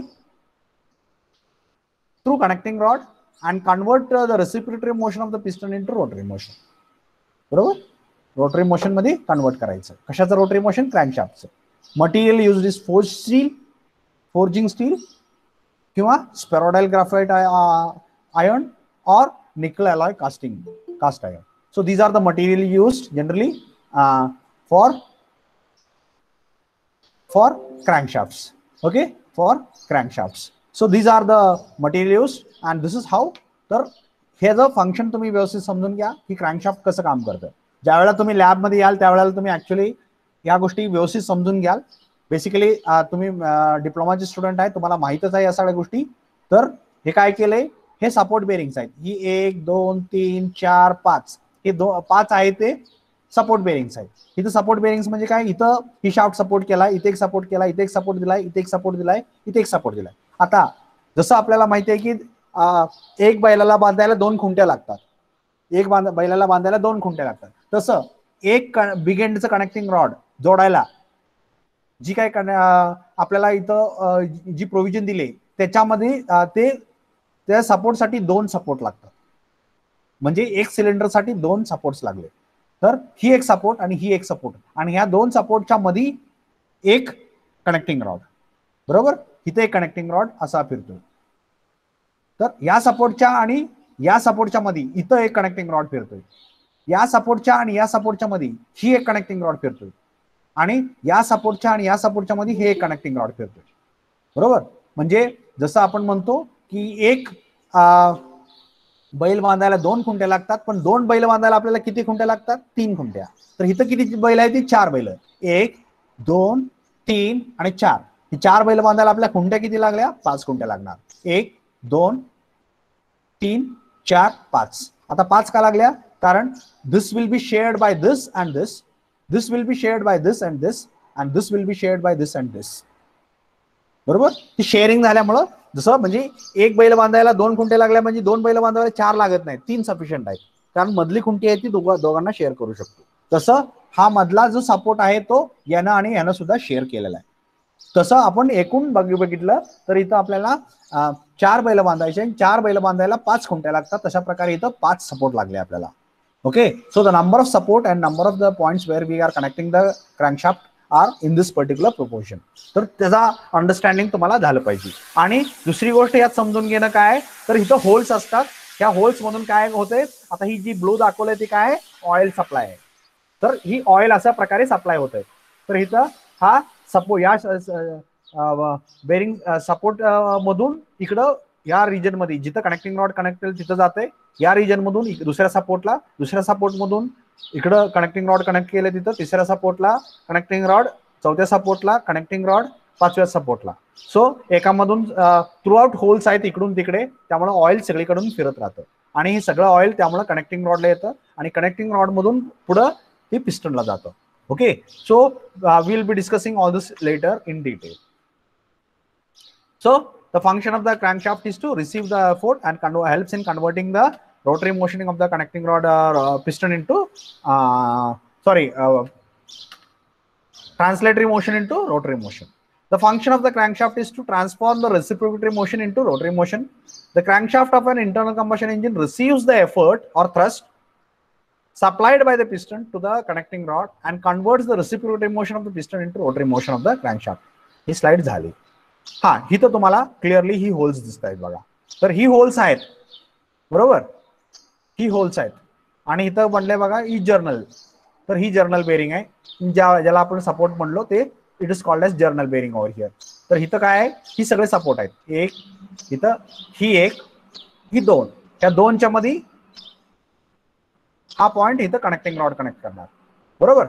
आता याच्या आणि याच्यामध्ये याच्या आणि याच्यामध्ये इथं एक आपण कनेक्टिंग रॉड कनेक्ट करणार.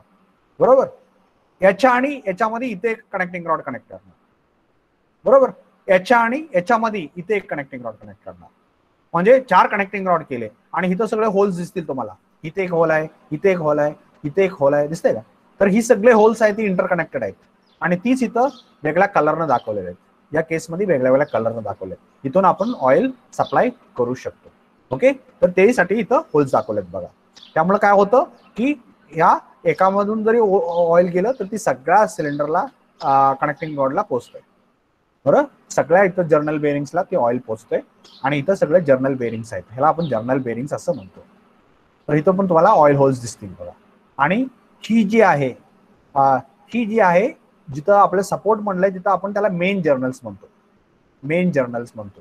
आणि जिथं कनेक्टिंग रॉड कनेक्ट केलंय त्याला आपण काय म्हणतोय? क्रँक पिन ही क्रँक पिन बरोबर? ही क्रँक पिनला आपण काय केलं?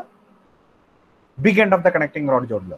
आणि ह्या जिथं आपण सपोर्ट आहे तिथं म्हणतो त्याला काय म्हणतोय आपण? Main journals or journal bearings okay इथं जे आहे त्याला main journals or journal bearings म्हणतोय.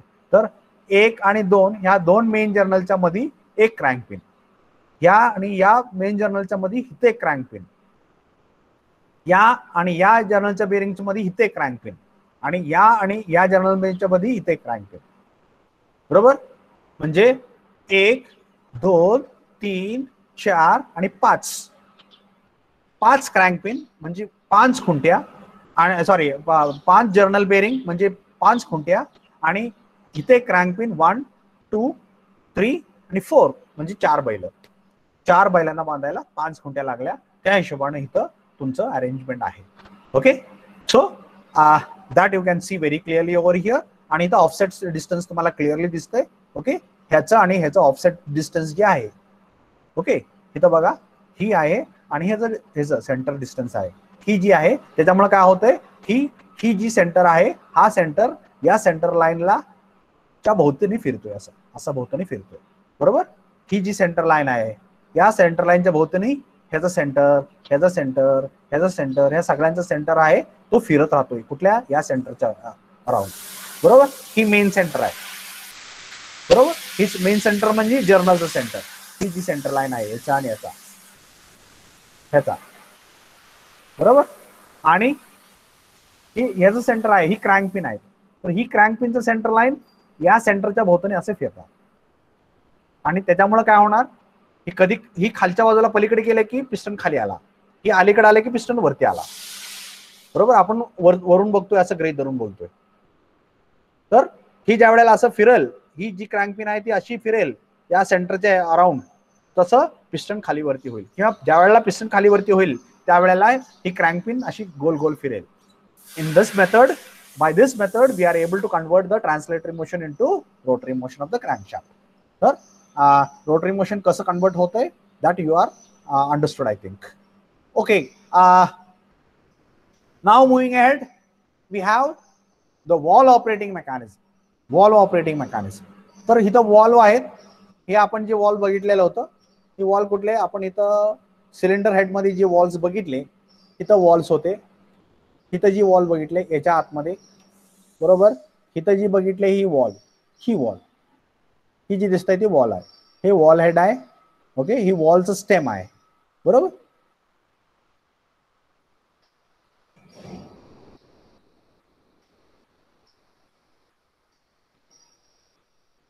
इथं हा ह्याच्या आतमध्ये. आणि ह्या वॉलला ड्राईव्ह करण्यासाठी इथं एक सिस्टम बसवलेली आहे. तर ह्याला वॉल्व ऑपरेटिंग मेकॅनिझम असं म्हणायचं. तर वॉल्व ऑपरेटिंग मेकॅनिझम कशी वर्क होते? तर ही तुमचे वॉल्स हे तुमचे वॉल्स या दोन प्रकारचे वॉल्स आपण ऑलरेडी बघितलं. एक एक वॉलला आपण इन इनलेट वॉल किंवा इनटेक वॉल असं म्हणतोय आणि दुसऱ्या वॉलला आपण एक्झॉस्ट वॉल म्हणतो तर आता मला ए- मी एक प्रश्न विचारतो तुम्हाला. तर मला कोणतरी याचं उत्तर द्यायचा प्रयत्न करूया. बघूया येतंय का तुम्हाला. तर हे- एक यातला एक मोठा आहे आणि एक छोटा आहे. तर just try to guess out of this two म्हणजे ही हा एक सेट हा एक सेट असं वेगळे वेगळे सेट आहेत. एका सेटमध्ये एक मोठा वॉल एक छोटा वॉल बरोबर? तर तुम्हाला इथं बघितलं तुम्ही तर तुम्हाला ती क्लिअरली दिसेल. एक छोटा वॉल आणि एक मोठा वॉल कुठं तुम्हाला दिसेल? सिलेंडर हेडमध्ये कुठे गेलं सिलेंडर आहे. हा इथं. बघितलं एक मोठा वॉल एक छोटा वॉल बरोबर? तर एक मोठा वॉल आहे एक छोटा वॉल आहे. ही एक सिलेंडर आहे. तर एक सिलेंडरमध्ये एक छोटा वॉल आणि एक मोठा वॉल आता मला तुम्हीही सांगायचं आहे की यातला या छोटा आणि एक मोठा याच्यापैकी कुठला इनलेट वॉल असू शकतो आणि कुठला एक्झॉस्ट वॉल असू शकतो आणि का? Can anybody give the answer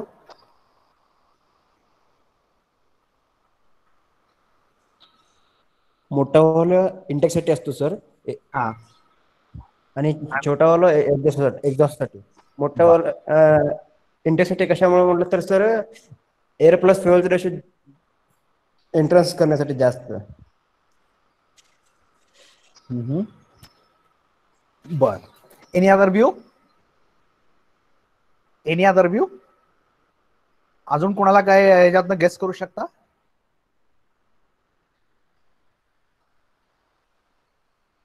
any other view मी तर असं म्हणेन की व्हॉल्यूम अगोदर कमी आहे. कारण अगोदर एअर आहे प्लस फ्युएल आहे ती लिक्विड आहे. आणि लिक्विड थोड्या प्रमाणात आहे. परंतु तीच लिक्विड ज्या वेळेला गॅस होतं त्यावेळेला त्याचा व्हॉल्यूम वाढतोय.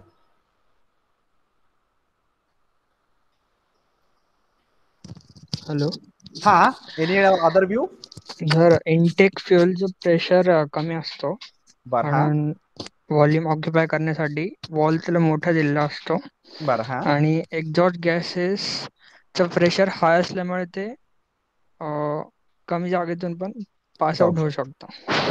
Very correct very correct so both of them have given correct answers okay no matter the bigger one is your inlet valve and smaller one is your exhaust valve तर हे का? कारण कमी प्रेशरमध्ये आपल्याला सिलेंडर भरायचा आहे. कमी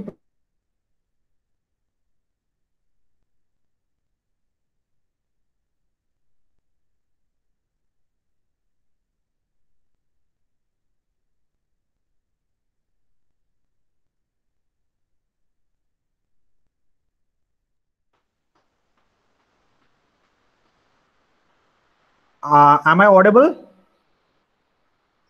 Am i audible? Yes yes okay.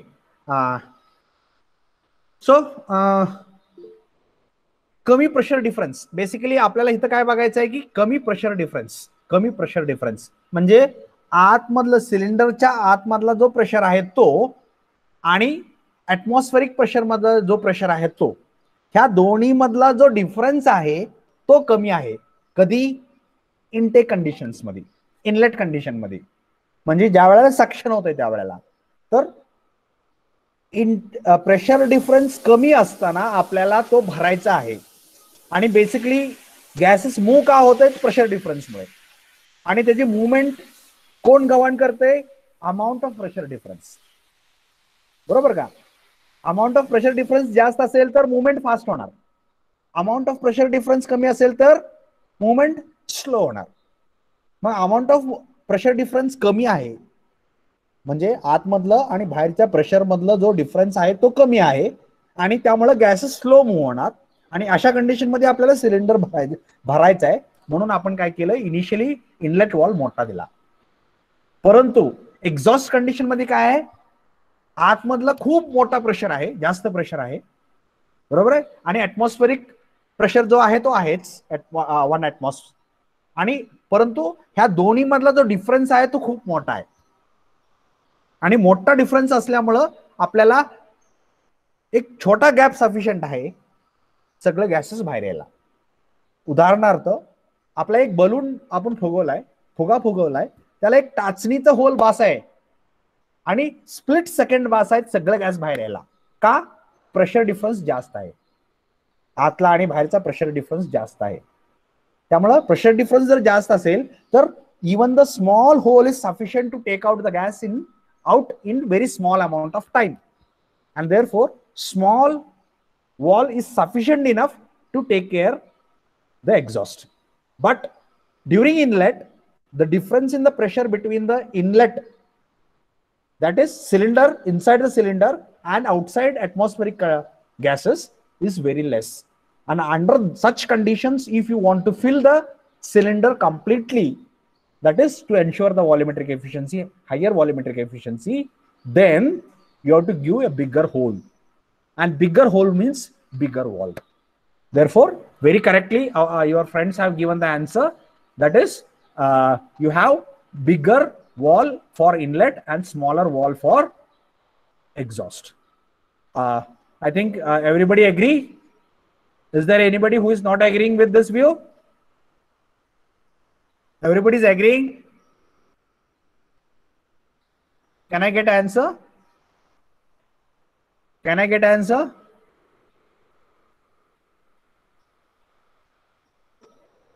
Okay. Uh, somebody is saying yes in the chat.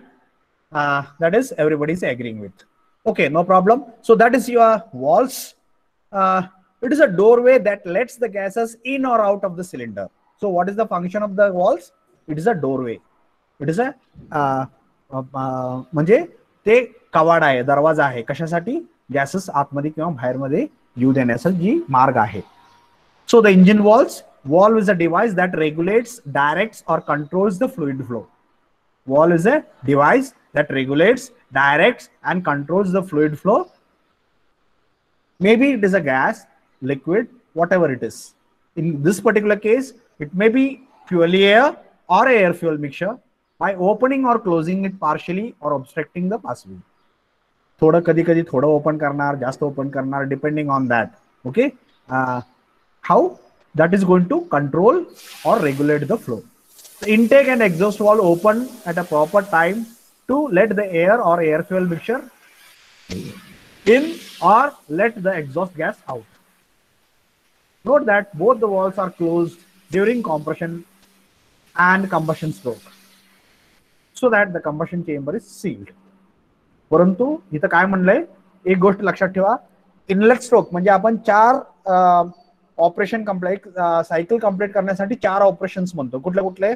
Suction compression exhaust sorry expansion आणि एक्झॉस्ट ह्यातलं इनटेक किंवा सक्शनमध्ये इनलेट वॉल ओपन असतो. एक्झॉस्ट किंवा एक्झॉस्ट स्ट्रोकमध्ये एक्झॉस्ट वॉल ओपन असतो. बरोबर? सक्शन स्ट्रोकमध्ये इनलेट वॉल ओपन असतो आणि एक्झॉस्ट स्ट्रोकमध्ये एक्झॉस्ट वॉल ओपन असतो. मग राहिले कुठले? राहिले कॉम्प्रेशन स्ट्रोक आणि एक्सपान्शन ऑर कंबशन स्ट्रोक तर या वेळेला दोन्ही वॉल क्लोज असतात.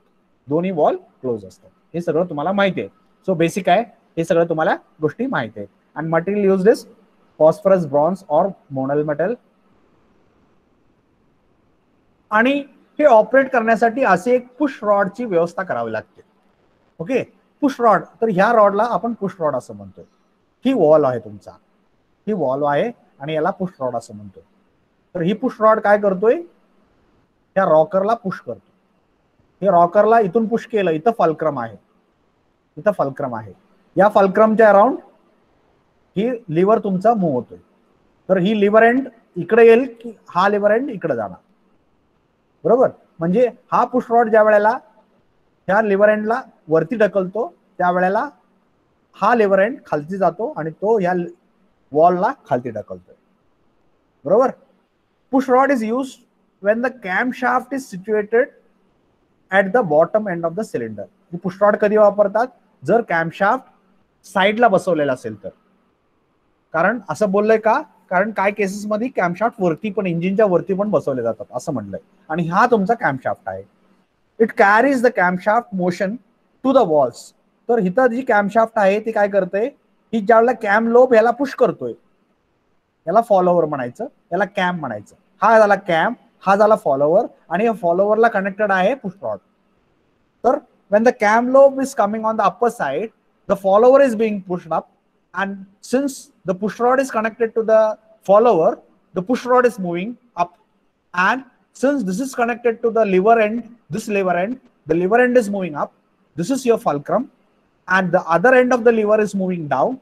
And this particular uh, lever end is connected to the tip of the wall. And therefore when this particular lever end is going down it is pushing the wall down. आणि therefore तिथं hole असतं inlet किंवा exhaust hole असतं आणि that is going to open okay so that is how it is operating so let see again very clearly so ही जे आहे तू तुमचं ही wall आहे. ही वॉल ह्या रिजनमध्ये बसलाय ही होल आहे. हा समजा इनलेट होल आहे असं ग्रही धरूया. बरोबर? इनलेट मॅनिफोल्ड आहे असं ग्रही धरूया. तर यातून एअर येते. परंतु इथं बघा इथं ही सील आहे. या सीट वरती ही वॉल बसलेला आहे. So we say the valve is sitting on seat या रिजनला ह्याला सीट म्हणतात. S E A T sitting म्हणलं की एस आय टी आणि सीट म्हणलं की एस ई ए टी बरोबर? Valve is sitting on is seat seat valve is sitting on it seat ह्यातलं सिटिंगचं S I double T I N G sitting verb आहे. आणि seat ही तर ही seat S C A T बरोबर? आपण बसतोय.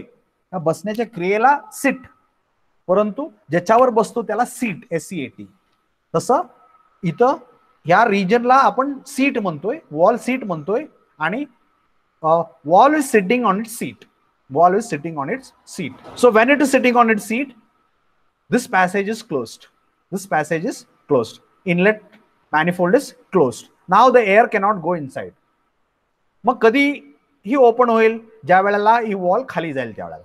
तर त्यासाठी आपल्याला काय पाहिजे? ही वॉल खाली ढकलायला पाहिजे. मग खाली ढकलण्यासाठी आपण काय केलं? ही रॉकर वापरला इथं. ह्याला रॉकर असं म्हणतो. तर रॉकर काय करतो इथं? इथं फलक्रम आहे. बरोबर? फलक्रम म्हणजे लिव्हर आणि ही फलक्रम लिव्हर प्रिन्सिपल तुम्हाला माहिती आहे. बरोबर? लिव्हर प्रिन्सिपल सगळ्यांनी आपण स्टडी केलेला आहे. बरोबर?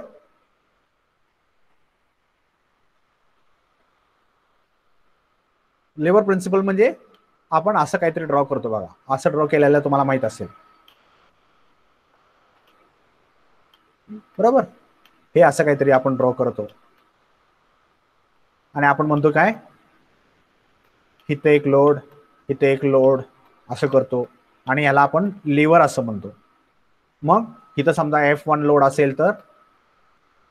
एफ वन लोड असेल. आणि ही समजा डिस्टन्स एल वन असेल. इथून इथंपर्यंत. तर ही एफ टू लोड आहे असं ग्रे धरा. आणि ही डिस्टन्स एल टू आहे असं ग्रे धरा. हे एल टू आहे. एल टू आहे. बरोबर? ही एल वन आहे. तर F one into L one is equal to F two into L two असं आपण शिकलेलं आहे. बरोबर? म्हणजे आपण ह्याला जर इकडं पुश केलं ही इकडं पुश केलं तर हा इकडं खाली येईल. किंवा याला इकडं वरती पुश केलं तर ही बाजू खालती येईल. आणि ही काय आहे? फलक्रम. ही सपोर्ट आहे. म्हणजे around this particular point this is going to move similarly this is your fulcrum this is your fulcrum and this is your lever now this is your lever मग काय करतोय? आपण we are pushing this up we are pushing this up therefore this end of the lever will move down मग जेवढ्या प्रमाणात ही वरती push करतोय तेवढ्या प्रमाणात ही वरती खाली येणार. Okay so this end whatever amount we are pushing this end that will be that much amount it will be going down बरोबर? मग जेवढ्या प्रमाणात आपल्याला ही वॉल पुश करायचं आहे जेणेकरून आपल्याला ओपन करायचं आहे तेवढ्या प्रमाणात आपण काय करणार? ह्याला इकडे पुश करणार. आणि ह्याला पुश करण्यासाठी इथं आपल्याला this is your push rod this is your push rod आणि ह्या पुश रॉडच्या खालच्या एंडला इथे एक फॉलोवर कनेक्टेड आहे आणि इथे एक वॉल कनेक्टेड आहे. वॉल सॉरी अ कॅम्प तर ही कॅम्प झाला ही फॉलोवर झाला ही पुश रॉड झाला. ओके आणि हे तुमचं रॉकर किंवा मेकॅनिझम आहे ज्याला आपण वॉल ऑपरेटिंग मेकॅनिझम असं नाव म्हणतो. मग ह्या कंप्लीट असेंब्लीला आपण operating mechanism valve operating mechanism असं म्हणतो.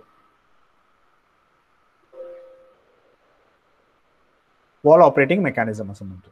तर ही झाली तुमची valve operating mechanism so that is about wall operating mechanism. Let me see, check out. Okay, uh, next slide, it is very clearly given. W- Two walls sitting on their seats, and this is your uh, head of the wall. This is the stem of the wall, and this is called as tip of the wall. तर या टिपला आपण खाली push करतोय आणि ह्याला initial pressure द्यायला इथं seat वरती बसवण्यासाठी इथं आपल्याला स्प्रिंग जोडलेल्या आहेत. स्प्रिंग सील इथं स्प्रिंग्स जोडलेले आहेत. वॉल स्प्रिंग्स दिलेले आहेत. तर ही वॉल स्प्रिंग इथं वॉल रिटेनर कारण त्या स्प्रिंगला जा सॉरी स्प्रिंग रिटेनर जे ज्याचं फंक्शन आहे त्या स्प्रिंगला जाग्यावर धरून ठेवणं ते आणि स्प्रिंग रिटेनर जाग्यावर फिक्स करण्यासाठी इथे एक नॉच असतं. या नॉच मध्ये स्प्रिंग रिटेनर टाकला की हे स्प्रिंग बाहेर येऊ शकत नाही. मग स्प्रिंग इथं इकडे अडकलंय इथं स्प्रिंग रिटेनर धरून ठेवलंय आणि हे दाबून बसवल्यामुळे याच्यामध्ये टेन्शन आहे. आणि तेवढंच टेन्शन आता या वॉलमध्ये आहे ज्याने ज्याच्यामुळं हे या सीट वरती प्रेस करून बसतो. आणि आता ह्याला जर उघडायचं असेल तर ह्या स्प्रिंग जेवढं फोर्स देतो त्याला त्याच्यापेक्षा जास्त मोठा फोर्स आपल्याला इथं लावावा लागणार आणि ह्याला खाली पुश करावं लागणार. त्यावेळेला इथं ओपन होणार आणि त्यावेळेला इथं जी काही गॅस आहे ती वरती किंवा खालती जाऊ शकतात. okay so that is how it is operating so it is clearly shown over here okay uh, असे वॉल्स बसवलेले आहेत आणि ते वॉल्स ऑपरेट करण्यासाठी इथं कॅम्प शाफ्ट बसवलेला आहे आणि इथं दोन कॅम्प शाफ्ट दाखवलेले आहेत एक कॅम्प शाफ्ट या दोन शाफ्टसाठी आणि दुसरा कॅम्प शाफ्ट दुसऱ्या दोन कॅम्प शाफ्टसाठी असं दाखवलेलं आहे बरोबर आहे maybe it is a V eight engine or if this is a engine with four valves Two inlet valves and two exhaust valves depending on काय दाखवलंय आपल्याला? Preferable it is a engine with four valves per cylinder okay two inlet valves and two exhaust valves तर ही दोन wall आहेत. त्याला operate करण्यासाठी ही एक कॅम्पशाफ्ट आणि ही जी uh, वॉल्स आहेत दोन वॉल्स आहेत त्यांना ऑपरेट करण्यासाठी हे कॅम्पशाफ्ट तर ह्याला ओव्हरहेड कॅम्पशाफ्ट अरेंजमेंट असं बोलतो या केसमध्ये आपल्याला ओव्हरहेड कॅम्पशाफ्ट अरेंजमेंट आहे आणि या केसमध्ये आपल्याला साईड कॅम्पशाफ्ट अरेंजमेंट असं म्हणतो. म्हणजे या केसमध्ये आपण कॅम्पशाफ्ट कुठं बसवलंय? साईडमध्ये बसवलंय. साईडला बसवलंय. बरोबर?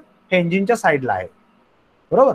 आणि ही क्रँकशाफ्ट आहे. क्रँकशाफ्ट मधून पॉवर घेतली. कॅम्पशाफ्टला कॅम्पशाफ्ट मधून फॉलोवरला आली. इथं रोलर फॉलोवर दिसतोय तुम्हाला.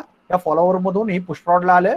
पुष्प्रॉड मधून ह्या रॉकर रॉकरला आलं. त्या रॉकर मधून ही इकडे पुश झाला की हा इकडे पुश होईल.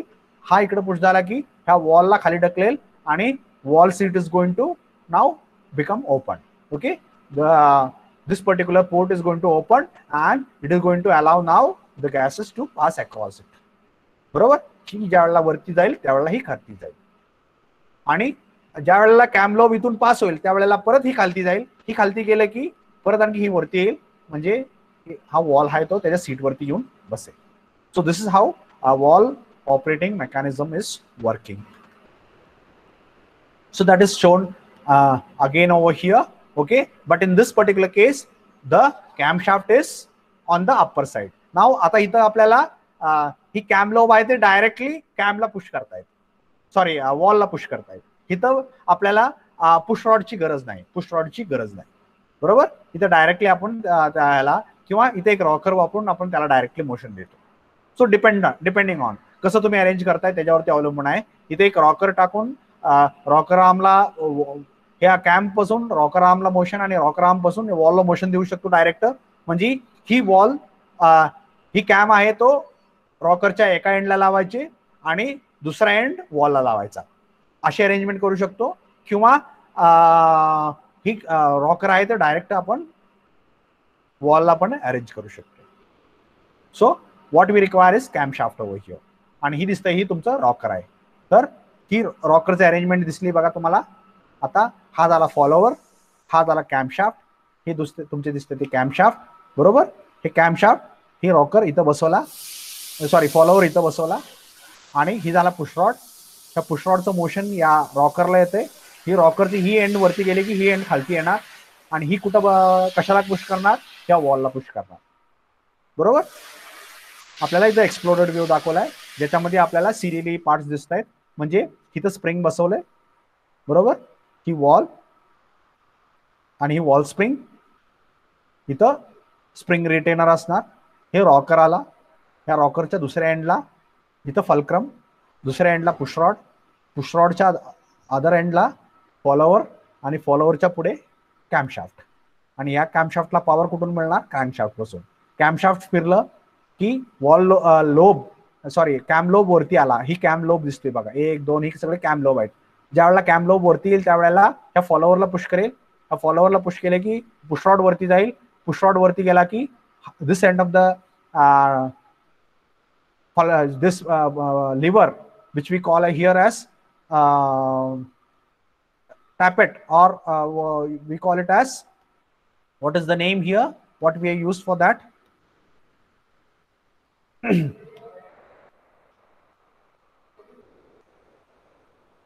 rocker arm. Okay. Uh, sorry. Uh, so the rocker. The push open. Ha. So this is your rocker. So this rocker this end will be moving up. This is a fulcrum over here. This rocker end will go down and that will push the camshaft uh, sorry the wall down thereby opening the manifold passage. Okay so hope uh, everybody has understood uh, how the walls are operating. Here it is again shown. Overhead camshaft. इथं directly काय केलंय ही walls आहेत वॉलच्या एंडला other एंडला tappet बसवलंय. Tappet म्हणजे तुमचा follower आणि या फॉलोवरला या कॅम्पच्या लोबपासून मोशन मिळतंय. तर कॅम्प लोब ज्या वेळेला येईल त्या वेळेला ह्या टॅपेटला दापेल. ह्या टॅपेट म्हणजे हा फॉलोवर आहे. हा फॉलोवरला मोशन मिळालं की तुमच्या वॉलला मोशन मिळालं. म्हणजे वॉल खाली सरकला की ओपनिंग होईल. आता इथं पुशरॉडची गरज नाही. ही अरेंजमेंट आहे overhead single overhead camshaft arrangement इथं होतं ती डबल ओव्हरहेड कॅम्पशाफ्ट अरेंजमेंट आणि आता आपण जी बघितलं ती single overhead camshaft arrangement double overhead कॅम्पशाफ्टमध्ये काय केलं आपण? चार चार वॉल्स दिले एका सिलेंडरमध्ये. बरोबर? टू इनलेट आणि टू एक्झॉस्ट इथं आपण एक इनलेट आणि एक एक्झॉस्ट देतो त्यामुळे सिंगल कॅम्पशाफ्ट आपल्याला सफिशियंट आहे. तर इथं एक हा कॅमलोब इनलेटसाठी असेल तर हा दुसरा एक्झॉस्टसाठी असेल बरोबर तर ही दोन एका सिलेंडरसाठी दोन एका सिलेंडरसाठी ही दोन एका सिलेंडरसाठी ही दोन एका सिलेंडरसाठी okay so there how that is how we are going to have the wall arrangement. Okay, uh, I think uh, our timing was up to 3:20, uh, 15, and now we have surpassed our time. Um, probably at uh, 3:30, uh, another teacher is going to engage you. So, uh, 15, 10, 15 minutes break is there. So now uh, we'll try to stop today for today. Now, what you can do is uh, you can mark your attendance in the chat box and leave mark your attendance in the chat box and leave. Everybody mark your attendance in the chat box and leave.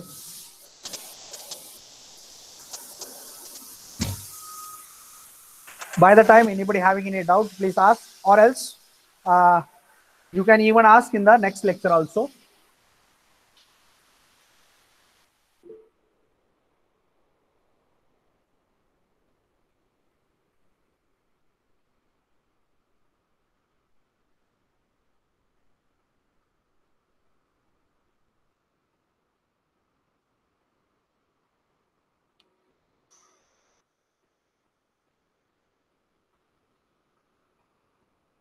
So everybody can mark their attendance in the chat box before leaving. Ensure it. Don't miss marking your attendance. Presently, you don't have the roll numbers. Therefore, write your uh, names in the chat box.